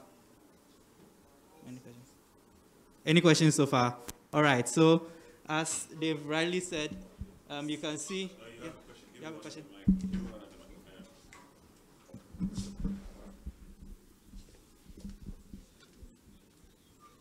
You again. Hey. What? I have questions. Yeah, you have to ask if 100 questions, okay? We are here because of you. The name again. Royce, Royce, go ahead with your question. please, except the key holder, can we make other things like the robot they showed us? Okay. Sure. I hope you heard the question. Yes, so because he's trying it today at home. that's the thing that's going on in his head, All right, Royce. good, Am I good right? question, Royce. Yeah, so basically, as um, you saw over there, the shapes are at your disposal. You know, a robot has what eyes, mouth, a body, so you can use um, circles or cylinders for the eyes, the cubes for the head. So as long as you have access to all these shapes, then you can build robots, you can build cars, you can make uh, human models, skeletons, anything that you want. And then um, we'll also talk about the 3D printing shortly. Uh, question? All right, let me go to her. So it's a competition between Royce and then um, the name again. Selikin, man. This is it really necessary to put in the hole. Is it necessary to put in a bowl? The hole. The hole, okay. Okay, so um, there is no one way to achieve a design, okay? The reason why we put in the, the hole in the key holder is so that what you can hook your keys to it, okay? But somebody can also say that, hey, me, I don't want it to be a hole. I want to make something like a knob, and then maybe I'll tie my keys around it, or I'll lock onto it, or something like a press start. So it depends on you. Somebody can even say that, look, I'll do it without the hole, but when I finish printing, I'll drill the hole myself. Do you get it? So it's up to you, the designer, um, the function that you are intended it for, then you do it. Or is there any other suggestion that you also had, like aside the hole, is there something else you could have, you think you can do? If you think of something, let me know. All right. Okay, so I think that should be it for now. So um, let me move on to the 3D printing. So thanks to the de developing technology so far, you know, at first, if you had something, maybe you want to send a letter to somebody or something, you had to scribble it on a pen yourself and then you send even application for employment and stuff, or yeah, yeah, send a letter to a friend. People used to write on papers and say, then we came to, where we had printers that can print stuff on a sheet of paper or like the flyers you are holding. So now you just type on your computer and then you print. Now that technology has, is, is my voice clear enough? That technology has um, grown enough so that now instead of just printing flat things and pictures on sheets of papers, we are now able to print in three dimensions, which is what we call 3D. So 3D means three dimensions. Three dimensions means that it's not just flat, as in what you have um, the text just flat on a paper like this. But then you can actually have text and other shapes that stand out. They have depth, they have um, a height and a width and a depth. So it's in three dimensions, 3D. I'll pass some of these objects around the table so that you can feel them yourself. So now we have what we call 3D printers that once when you are able to get your design on the computer, they are able to reproduce it exactly as it is, not just as a flat picture, but in the full three-dimensional form. So let me pass a few of the objects, this um, uh, logo with a text on it, similar to the key holder we are doing here. Um, so kindly look at it and pass. You also have one, a 3D printed whistle. So um, Royce, you asked about robots. Somebody just used the shapes to design a whistle, and then we 3D printed, pardon? You want to try it. So when it gets to you, blow it and let everybody see. So that's the whistle coming up.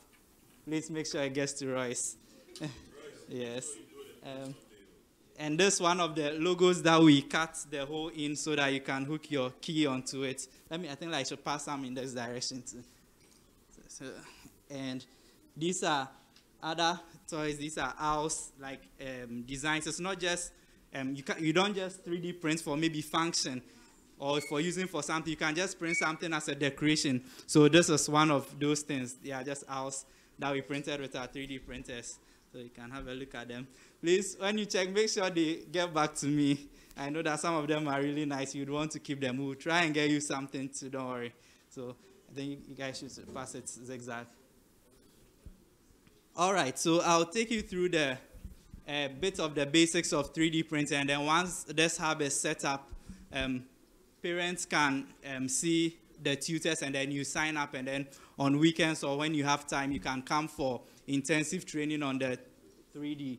So if the camera can um, come up close here right now, you can see that we are printing one of the owls on this printer, okay? Yeah, you can watch it from that screen, yes. So as you can see, I think you can already see the legs, right? Yes. So how the 3D printer works is that, I mean, somebody be like, how can you model something like this fully? So the idea behind it is that, um, how do I put it? We start from the ground, yeah? Is okay? Okay, sure. So the idea is that whenever um, whenever you take any shape, okay, we start from the ground and then build it towards the top. So the computer, um, when we design it on the Tinkercad or other 3D programs, we give it to a computer software, which whatever design that you gave it, it breaks it down into layers. Those who have the 3D prints, if you look at it, you can see that there are some tiny lines uh, in between. So it breaks it down into layers, and then it knows that, okay, um, the first, the layer down here, it looks something like a square. So it prints that square first, then it comes up a little, prints the next, the next, the next, the next, and then by the time you realize we are at the top, and then it forms the exact shape that you want it to form. So um, let me see if, let me see if I can start a new one for you to see. So let me pause this one for the meantime, and then we'll restart it for you to see how the whole process starts. Right now, the, the limit of this technology currently is how long it takes to produce a design. So you realize that um, we set some of these up in the morning, but then they are still not done printing. For instance, these owls that you saw that we passed around, they took about 48 minutes. The whistles took about 50 minutes to print. Uh, Royce, did you get to test the whistle? Uh, it worked? You're great. Great. So I'll just um, do a quick, maybe two minutes demonstration. You see how it prints in the two minutes. And then later when you sign up, you can come and have a full view of how everything prints. Okay. So.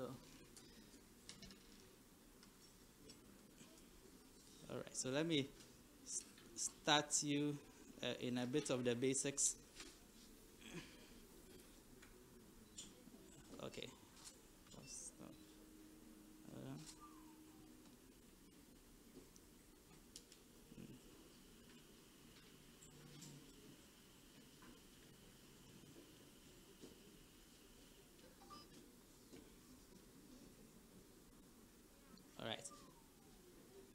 Now the 3D printer has, has what we call, the 3D printer has what we call axis. So um, how many of you have drawn on graph sheets before? So you know x-axis and y-axis. Uh-huh. Now when that's two dimension x and y. When you come to 3D, we have another axis we call the z-axis or z-axis.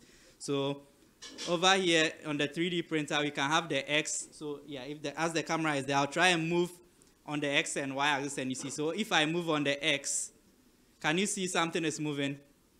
So that thing goes for left and right. So that's the x axis that we have there. And then when you go to the y, can you see something moving from the screen over there? Can you see something moving? So you see that the bed down there goes forward and backwards. That's the y axis. And then finally, if we go to the z, can you see something moving? What's moving? The bar is going what? Upwards and downwards. So that's the z-axis. So those are the three dimensions that the 3D printer works in. So based on your design, the computer determines should it go forward, should it go backwards, should it go upwards, and then it follows that pattern to trace your design for you. So let's start something. So we go to print the model that we are printing, after you design on your computer, you put it on a, a pen drive or SD card, and then you insert in the printer. So we already have one inside, so prints the up and then, yeah, the design comes on. Okay, so how the printing works is that, as um, I hope you all have had a feel of, um, of the items we've 3D printed. Yes. Thank you. Yes, I hope you all had a few. You can see that these are rigid plastics. So where, where are the plastics coming from? Are they coming from the air or something? Does somebody have any idea where the plastic is coming from? Yes? Coming from the filament. Hey, how do you know it's called filaments? good, good, good, good. So this thing that we have here, or let me use this. This thing that we have here is what we call the filament. It's Okay, I hope you all can see. It's similar to the thread and needle that um, seamstress and tailors used to sew. But in this case, it's not thread, it's plastic. So this is plastic that has been put in this form. So when you put it in the 3D printer, what a 3D printer does is it heats it up to a high temperature, about 200 degrees Celsius, very hot, hotter than hot water, so that it's able to melt the plastic. So once it melts the plastic, then it can deposit it into any shape that you want, whatever shape you design. So you can see these sofas here and all that. If we had the time, we would have been able to print, as, as long as we have the shape here, we can get it printed. So it melts the plastic filament that we saw, and then based on the shape that we have designed, it traces the outline on the bed. So we will see a demonstration shortly. This and the color that comes out is determined by, of course, the color of the filament. So orange is from the orange filament, green is from the green, and then the wine is also from the wine filament. So we are using this printer with the wine filament. So our print will be starting shortly. It's heating up to the required temperature. Okay, so yeah, as you can see, the head has started moving. We call this the nozzle head. That's where the 200 degrees temperature is, and that's where the filament comes out. So you can see it has started tracing some lines. All right, so as I mentioned earlier, based on whatever shape you are printing, it starts from the base and then it builds it upwards. So these are the owls that we are printing.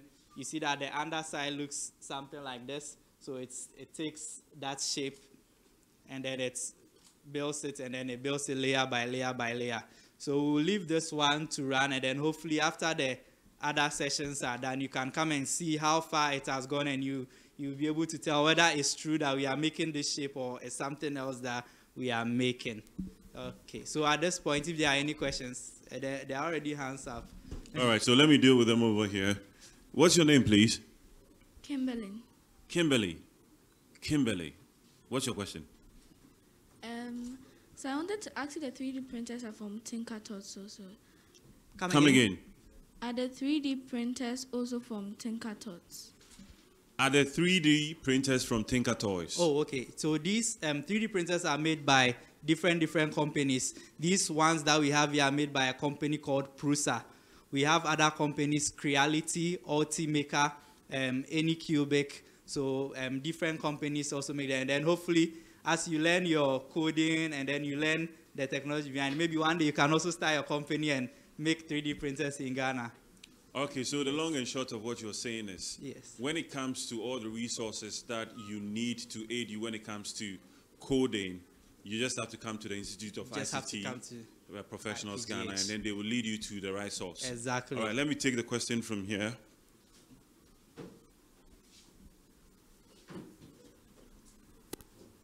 Please, the seat on the screen, is it from the ships or you made it yourselves? Come again. Come again. The seat on the screen. Mm -hmm. Is it from the ships? Or you made it yourself? Or you made it yourself? Okay. Can I make Madam to answer that question? All right. okay, so um, these seats were made from shapes. Okay, so I'm going to restart this, and then you see how it was made. Okay. Yeah, while she's doing it, we can still take other questions. All right, so let me come to Royce, the dangerous man. Mm-hmm. Please, I just wanted to ask about the machine. Yes. Does it hit the filament to a point that it can actually destroy its own self? I, li- I, like this boy. I tell you. Yeah. Okay. Push him to the wall. That's good. So good question. So um, before the machines came out or before they are sold, a lot of testing goes on in the company. So the company has been able to find out that for this kind of filament, we need about 200 degrees Celsius. So they chose the nozzle tip which can withstand about 1000 degrees Celsius. So that even in case of a fault, you know that we are not going to go so much high. So we choose the parts so that they are not damaged by itself. Great question. I think I worked with a printer, some of these fake ones, ones that when the temperature went a bit high, some of the wires started burning. So if you buy from a good company, then you know that everything can withstand um, whatever condition. We don't want our houses to get burned. At all. Thank you. All right, so I have another question here. Do all your name, please? Aram. Aram, go. Yes. All right, go ahead. Do all colors have filaments? do all colors have filaments or do all filaments have colors? Okay, well, we take both of them. So um, right now, when um, when the 3D printing came, we used to have only colors like white and black. Those were the most common colors. But right now, they found ways to mix up the plastic with other colors. So you can find your red, your green, your yellow, the rainbow colors. You can find ones which look like wood. You can find ones which look like gold. You can find some which look like silk. And you can find some which are a mixture of colors. And in fact, recently there are some that are even transparent. So I think I can say that yes, you have filaments for all colors. All right, let me take another question here. Your name? McCaffrey. McCaffrey, go ahead. Um, how high can it go? What you're building? How high? Very. When you print it, how high can, Can it it go? go? Very good question. Very good question. So, how high your prints can go depends on the height of your 3D printer. So, as you can see, our printer here can go about 200 millimeters or 20 centimeters. If you have your ruler, you can check that. So, somebody be like, what if this is the only printer I have and I want to print something higher? So, what you do is that you make your design in bits. So you can make it such that you print the first part 200 and then you leave a place that you can screw or yeah, put a screw or something. And then you print the other part and then you fit the two together. So that's how you can print things that are larger than the printer. But there are also printers that are very huge. Some can take like half of this room and all that. Yes. All right, so let me let me let me ask you this personally. Yes. If you look at the gathering over here, we have people from the media. We have someone who is an engineer. We have someone. I am a speaker, so basically that's what I'm doing right now. With all these set of people that are here, how do we incorporate what we do into this coding technology that you're teaching us? What are some of the things that we can also do to enhance our work? That's the question. Okay. Um, specifically for the 3D printing towards 3D or I'm or asking. It could be from? Tinker Toys. It could be from Okay, Codit. The both of you. The point is, uh, we are we seem to be asking questions from most of the questions are coming from the kids. That's Oh, fine. okay, But then, okay. as So, adults, we're also here. yes, How can we also use what is being taught right now Okay. to incorporate? How can we incorporate it into, what we do? What you do. Because at Alright. the end of the day, we want to be efficient. We want to bring results that count. Is that not the case? Excellent. Thank you. Excellent. So, um, for instance, looking going towards the media side like this, you realize um, I can use a common example like a smartphone. I mean, at first, you used to have to go and buy expensive equipment before you can go somewhere and record a video and audio or do an audio interview. But when the smartphone came, people were able to do what? They were able to code. They were able to code recording software. They were able to code video capturing software. So because of that coding aspect, they've been able to put those software on your smartphones so that even as a media person, you are able to do your work easier and more efficient. If you come to the engineering aspect as well, maybe somebody is in their workshop, maybe they need a clamp to hold something, but then he's not finding that type on the market or maybe you cannot go out at that time. If you know how to use your 3D printer, you just design your clamp on your software, you 3D print it, and then you use it to work. So basically, all aspects of our life, now the ICT, the coding has intersected. So um, any anything at all, anything at all, you can just like, Okay. improve on. All right. Let's let's take. Uh, we're going to take the last two questions, and that's going to come from her and then the gentleman over here. Hello, my name is Ella Bill, and I'm asking, sir, please, when you started, we could see that the printer started with a straight line. Why Yes. did that Okay. Oh, okay. Let's take this one too. Wow. My name is Jason David Ashon, and is it possible to print two things at the same time? Okay, So the straight line, and then is it possible to print two things at the same time? Uh, you, you people ask like super smart questions.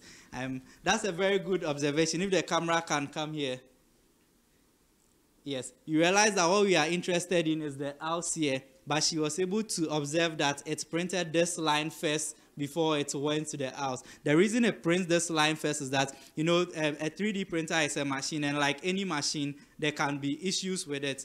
Sometimes maybe something has blocked the filament, so it's not flowing well. So it, it does this line so that before it starts the print, you can inspect the line and look at the quality that is it good is there a problem so that if there's a problem you stop it before it starts the main thing and then waste your time or waste the material And the other question was, Uh, can you print two things at the same yes. time? Yes. So yes, you can print two things at the same time. Um, in the software, you can place, for instance, um, just like this.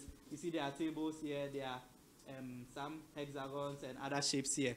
So you can just put all this shape as a command for the 3D printer. And there are two ways you can print. You can tell it to either print all of them at once. So it prints the base of all of them. It prints the middle of all of them, then it prints the top. Or you can also give it a command so that it prints the individual elements. So if it prints this shape fully before it goes to the next one and prints it fully before the next. So you can print multiple things at once. All right, so thank you very much. Um, quickly, uh, shall we have your final thoughts on your presentation so that we can move on to another section because we have another important session that we need we need to quickly get on. All right. So I think I would like to pick on one of the questions you talked about about adults using the 3D printing. So I think it's very necessary because there are some artifacts that we use, maybe household artifacts that we adults we use at home. You can get a 3D printer, design your own thing with Tinker Toys, and then print it yourself. It could be, um, you can even print a plate, a cup, whatever. It's plastic, and you can build anything that you want to create. Thank you very much. Okay, so thank you very much, everyone. And as you can see, there are a lot of things you can do with the um, Tinker Toys platform. So just come and register, and then you learn more. Thank you.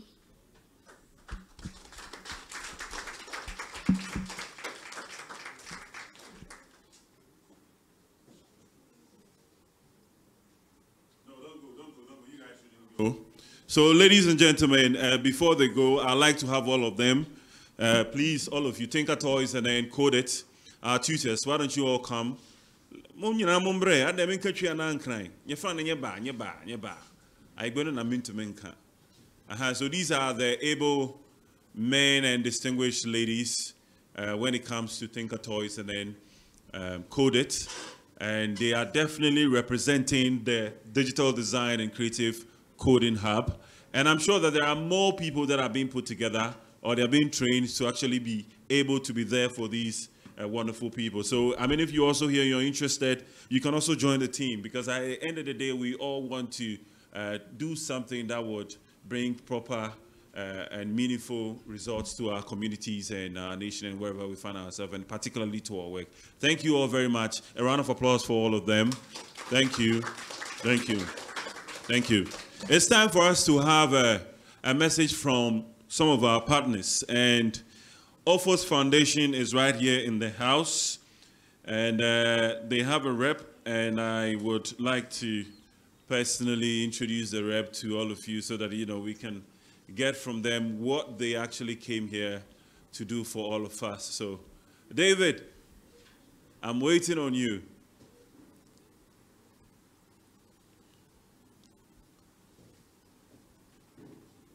AFOS Foundation. So I'm going to call on Hannah. Hannah, please, are you in the house? Oh, right here. Okay, so Hannah, quickly come over here. Let's have a conversation. Let me get to know you personally so that you can start your presentation. So, Hannah, is that your full name?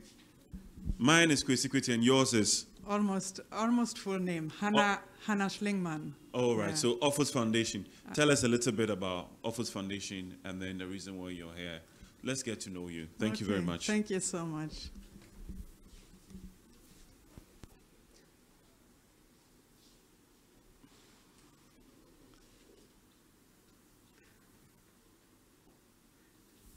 Yeah, thank you for giving me also the floor here. It's just been um, five months that I met. I first met with uh, David and his colleagues, and we got introduced to IIPGH. And I must say, every time that I've been meeting um, the crew and uh, the Institute of, of ICT Professionals of, in Ghana, I've I've gotten more and more impressed of the activities that are run here.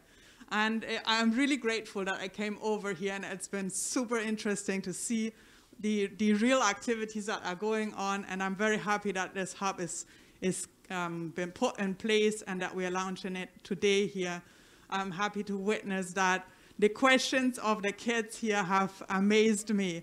Um, like when I see your eyes and the curiosity, you caught my curiosity in all this, what we are doing here. It's, it's been really beautiful. Um, the AFOS Foundation is um, also a foundation with its headquarters in Germany. I see there are a lot of German partners partnering IIPGH, which I'm also happy about. We're a value-based and business-oriented foundation. Uh, we're promoting economic, social, and environment development. So we are into international uh, development in a variety of countries. And in Ghana here, we launched a project that is called DigiCap. So we are into digital uh, capacity building. Um, not for the very young ones, but for rather for students at universities. TIS, our main partner university at the moment is uh, UCC, the University of Cape Coast.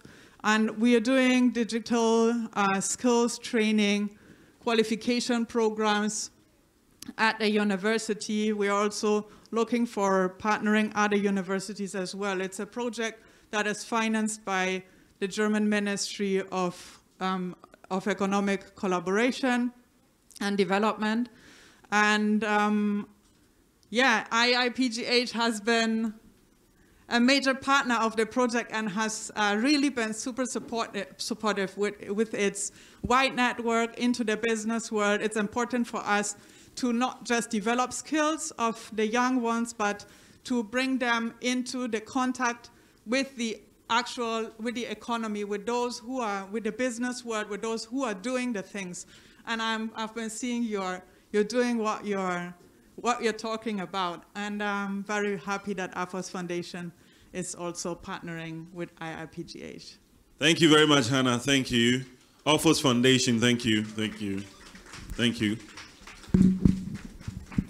We are still taking messages from some of our partners, and um, the next to go is Alpha Beta, and I'd like to call on the Director of Operations, Dr. Naomi Agyepong. She's going to join us online.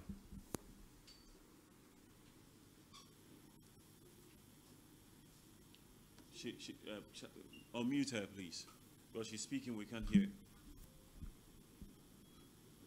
Please, she, she's. We Hi. Thank you very can much. You hear me? Yeah, we can. We can hear you loud and clear, Doc. All right, awesome. All right, good afternoon, everybody. Um, I just want to say a big congratulations. I've been enjoying watching all the demonstrations, and it's a very exciting time.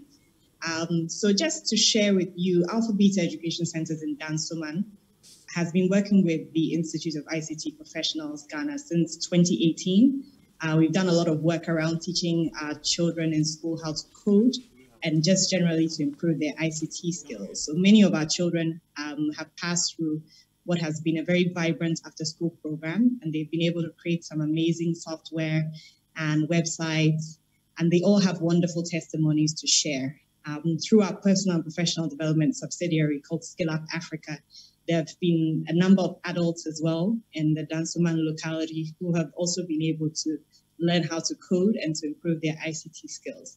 Um, so we, we've seen firsthand, you know, what sort of opportunities uh, having these in-person centers can provide. And we're very excited about the prospects of this new digital design and creative coding hub, uh, which will definitely add to the success stories that we've already seen. Uh, for this particular project, I was contacted uh, by David Gowu a few months ago, and he selected two tutors from Alpha Beta to participate in the Train the Trainer workshops, uh, which I believe were organized by Codit, the, uh, the German partners. And so we are very delighted that we will be able to roll out um, coding to more of the students in our school. Um, as a school, we have a very strong focus on entrepreneurial leadership, and we actively encourage our students to develop 21st century skills um, to make sure that they are prepared for the future and also equipped to be part of the change that Africa so desperately needs. And coding and the creative use of technology is definitely a strong vehicle for us to be able to facilitate this change. So we are very, very happy about that. And we're particularly happy about the fact that the hub will provide opportunities to girls, to children, and to also to marginalized groups um, to help them sharpen their technology skills. Um, this for us, we believe will greatly improve access to tech entrepreneurship for young Africans and to also equip them to take advantage of IT related jobs, both locally and globally. Um, the pandemic has been able to fast track the opportunities in virtual work. Um, so we believe that if we're able to equip young people with the right skills and the right mindset, they should also be able to take advantage of jobs, not just in Ghana, but all over the world. Um, most importantly for us, it will allow us to use technology to develop solutions to some of Africa's greatest challenges. So we are, we are very hopeful um, that this will be the first of many creative uh, and design hubs across the city, across the country, and indeed across the continent as we all work together to provide opportunities uh, for sustainable livelihoods for the millions of African youth um, that we currently have. So I take the opportunity once again to congratulate the team at the Institute of ICT Professionals uh, for the wonderful work that you are doing. And we also thank the donors um, and all the stakeholders who have made it possible. So on that note, may God continue to bless us all and all the best. Thank you very much, Dr. Naomi Agyepong. Uh, we like your, ba- your background. It's lovely. Thank you very much. Thank you. It'll be good to watch a movie, you know, sitting behind those things. A round of applause for her, please. Uh, thank you, Doc. God bless you. you. All right, so we have one more partner that I'm going to introduce so that they can also share with us um, their feel about whatever is going on. Ivy Preparatory School, Emmanuel Adade. Thank you. Thank you.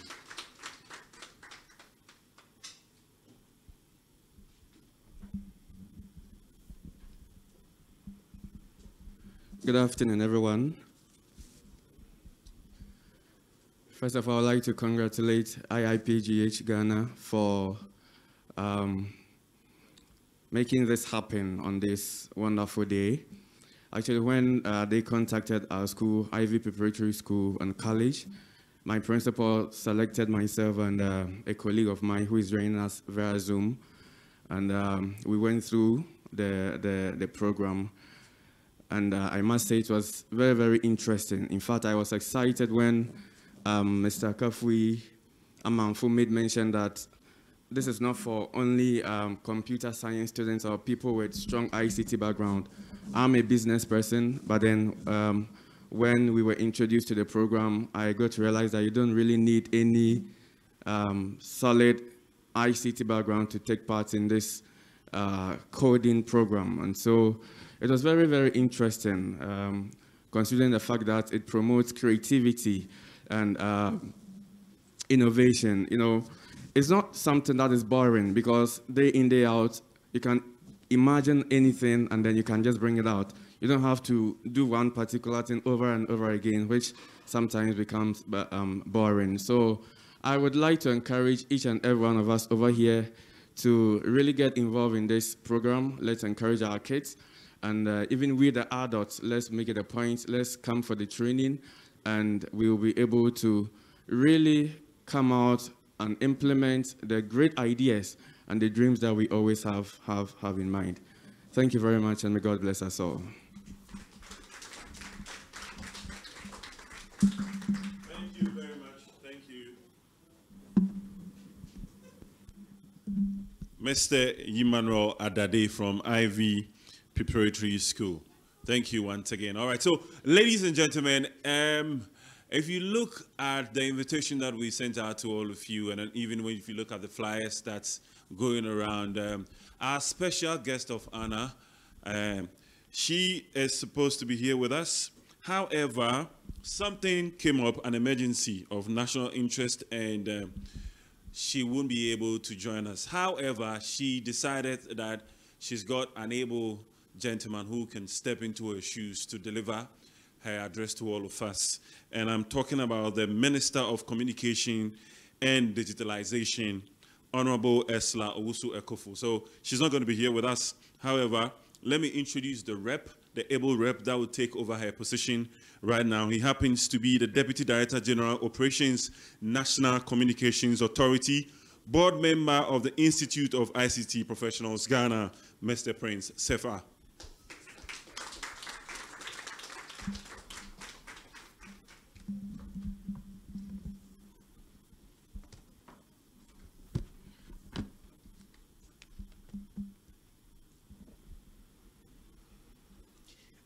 Uh, thank you all for uh, the nice introduction. I have to uh, put it on record. I'm not here to step in the feet of uh, of the uh, honorable and uh, very much great minister, but I'm just going to give a few remarks. Ghana's digitalization agenda, as led by the Ministry of Communication and Digitalization, is on full course.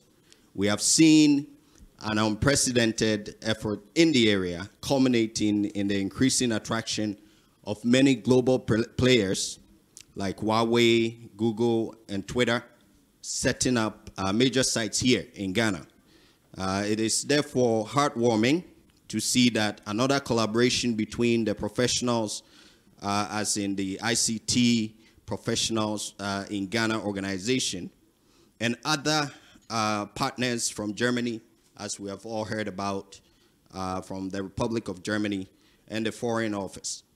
The accelerated efforts such as this is close uh, to close the digital gap, uh, particularly for girls and underrepresented groups, create opportunities for our young people.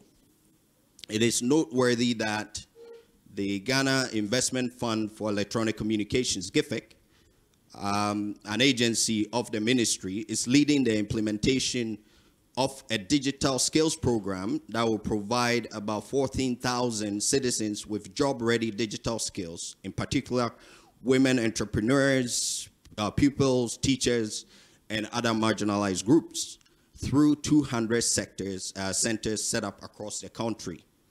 Private sector initiatives such as the Digital Design and Creative Coding Hub being set up by the Institute, as the Institute of ICT Professionals, Ghana, and its German partners, Codit, Tinker Toys, uh, and others, add and expand critical capacity in the ecosystem. That is what young people, especially girls, need to ignite interest in technology and pursue a career, very important careers in ICT related fields. In today's world, digital devices such as uh, 3D printers, smart interactive boards, notebooks, etc., are used in creative technologies, uh, motion design, and other complex digital artifacts for current and future mobile, web, and Internet of Things applications. I'm convinced that the Digital Design and Creative Coding Hub will provide a rich and exciting experience uh, to young people in 3D design, animation, media, aesthetics, and more. With these uh, digital experiences and creative technology, um, ideas surely are bound to happen with art and creativity.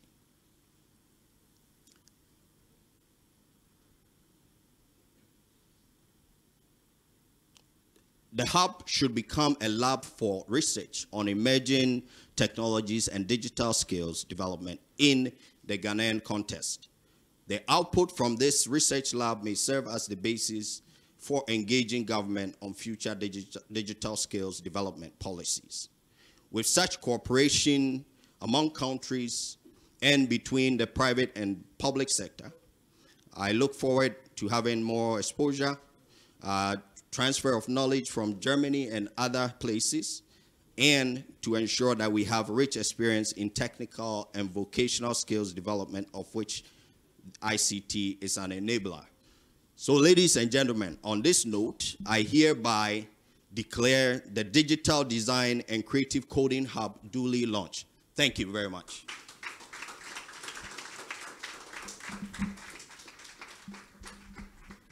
Oh, um, um, uh, please don't go. Uh, Mr. Prince, Mr. David Gowu, please. It is officially launched. We need to see your face. Executive Director of the Institute of ICT Professionals, Ghana. Uh, he's supposed to be here because officially and worldwide we are launched and he needs to be seen. Is he coming? Come again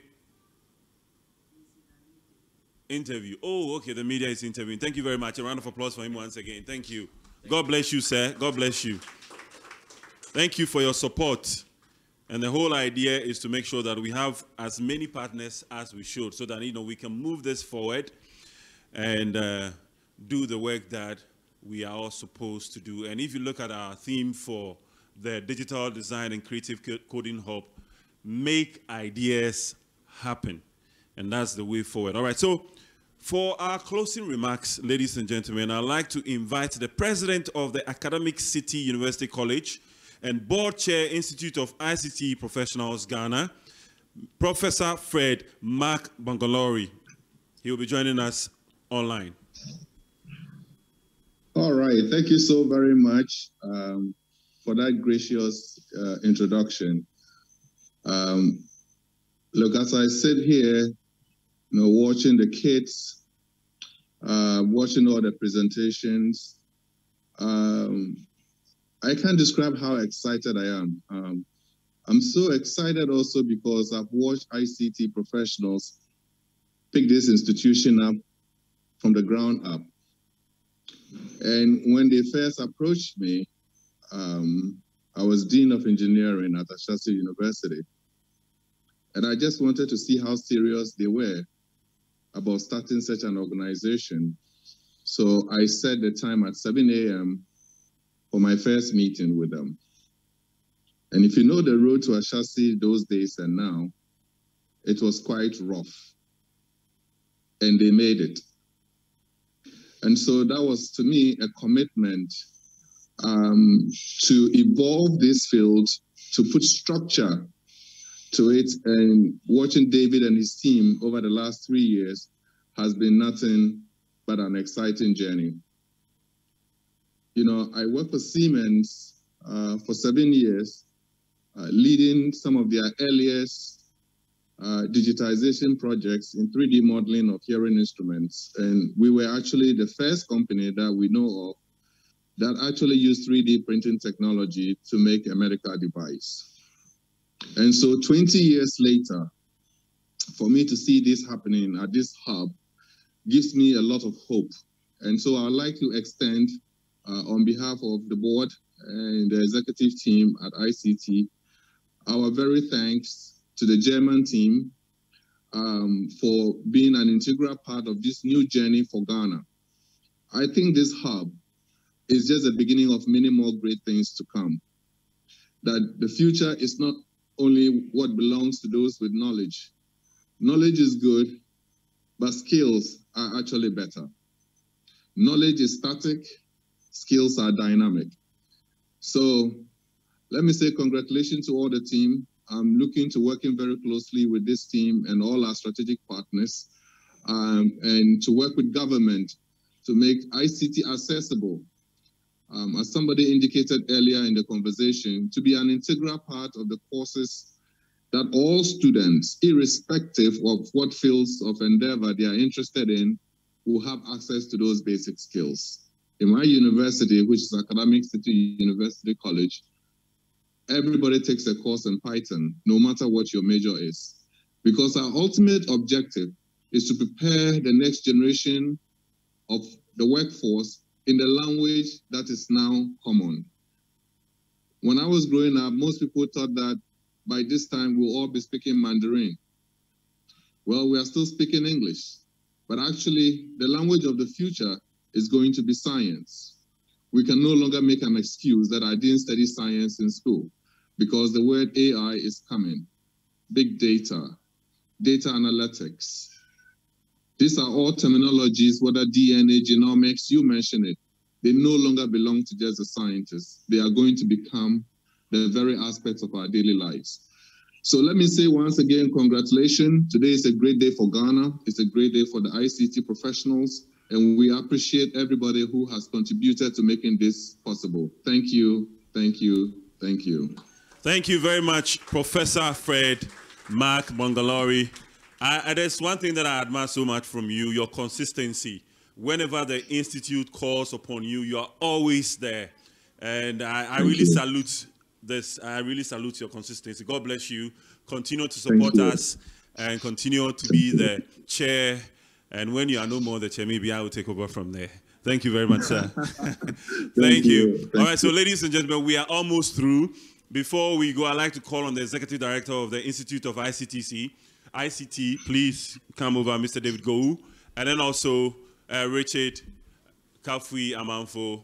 These are the faces you should look out for when it comes to the Institute. Kuku Sam, please, you should also join us. Kuku, please join us. I, I, their, their final words before we finally go. Thank you very much. Uh, it's been a, an exciting day. Uh, we are very happy and um, we want to thank everybody. We want to thank the, our special guests and also Mr. Prince Sefa and all our partners. Um, the hub has been declared launched and we look forward to having you all back here to experience the new and emerging technology. Thank you. One, two. Also, I would want to thank our tutors and uh, the technicians in the back. If not for you, this today wouldn't have been uh, a success. Uh, we've taken a lot of time to get this facility here done, and uh, we are also giving thanks to our partners from Germany, uh, Andreas and Sebastian and co. We thank you so much, and we thank the foreign Ministry, the Foreign Affairs of the uh, Federal Republic of Germany uh, for making this also a, a, success. Thank you all for coming, and I wish you all well. Looking forward to having more kids to participate in our programs from today and forever. Thank you. Okay, I would like to also use this opportunity to invite as many partners that share in this vision to come and then join us, create a future for this country. Thank you once again. All right, thank you. A very big thank you to the media also for coming. Thank you to each and every one of you here. God bless you. And a huge thank you to the partners online. They have made their time to be here with us, and we are so grateful to them. God bless you for your continual support. And uh, I want to find out whether some of you would want to share your final words with us, those online. Please, if you could quickly uh, share with us if you want to. Uh, Sebastian, would you want to say some few things to us? Or Andreas or Lena, please, if there are some few words that you would want to share with us, you are free to go right now. Uh, I just take the time to thank all the, the people that are making this happen. And we are looking forward to new projects. And we hope that a lot of kids can, yeah, make their way to the hub and learn skills for the future. Thank you. Thank you, Andreas. Thank you. Uh, from me, congratulations again for opening the hub today. Uh, really great event. Thanks for organizing. And also from me, thanks a lot, a lot uh, to the tutors. A great presentation. I couldn't have done it better. And uh, thanks to all the kids for their patience and their curiosity and their great questions. And yeah, I, I wish uh, wish us all the best uh, for the future in the hub. Thank you all. Thank you. Shall we have Lena? Yes. Hello. yeah, maybe I sh uh, should introduce myself. I haven't done that yet. I'm the education assistant of Tinker Toys. And yeah, I also would like to say thank you for this day and for the time, all of you. And yeah, special thanks to the kids. I was really impressed by all your smart questions. And yeah, I'm very looking forward to what you're doing in the hub with Tinker Toys and Codit. And uh, yeah, I think there's going to be something really cool we can do together. Yeah, thanks. All right, thank you very much. And then also a huge thank you to Code for Africa, an important collaborator also from Germany. God bless you all. It's been a wonderful time with all of you. I've enjoyed every bit of it, especially with the kids. Amazing kids. I wish we were all my kids, but I'm not sure that I can be your father at the moment. So we can be a, you can be my friend, all right? Uh, why are you always asking questions? Uh-huh.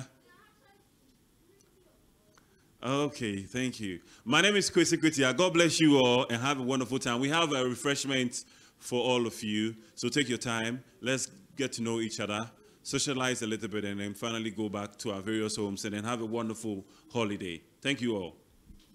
I get new things to learn about. It's also difficult because sometimes I don't understand some parts of JavaScript and I have to get my teacher to explain over and over again.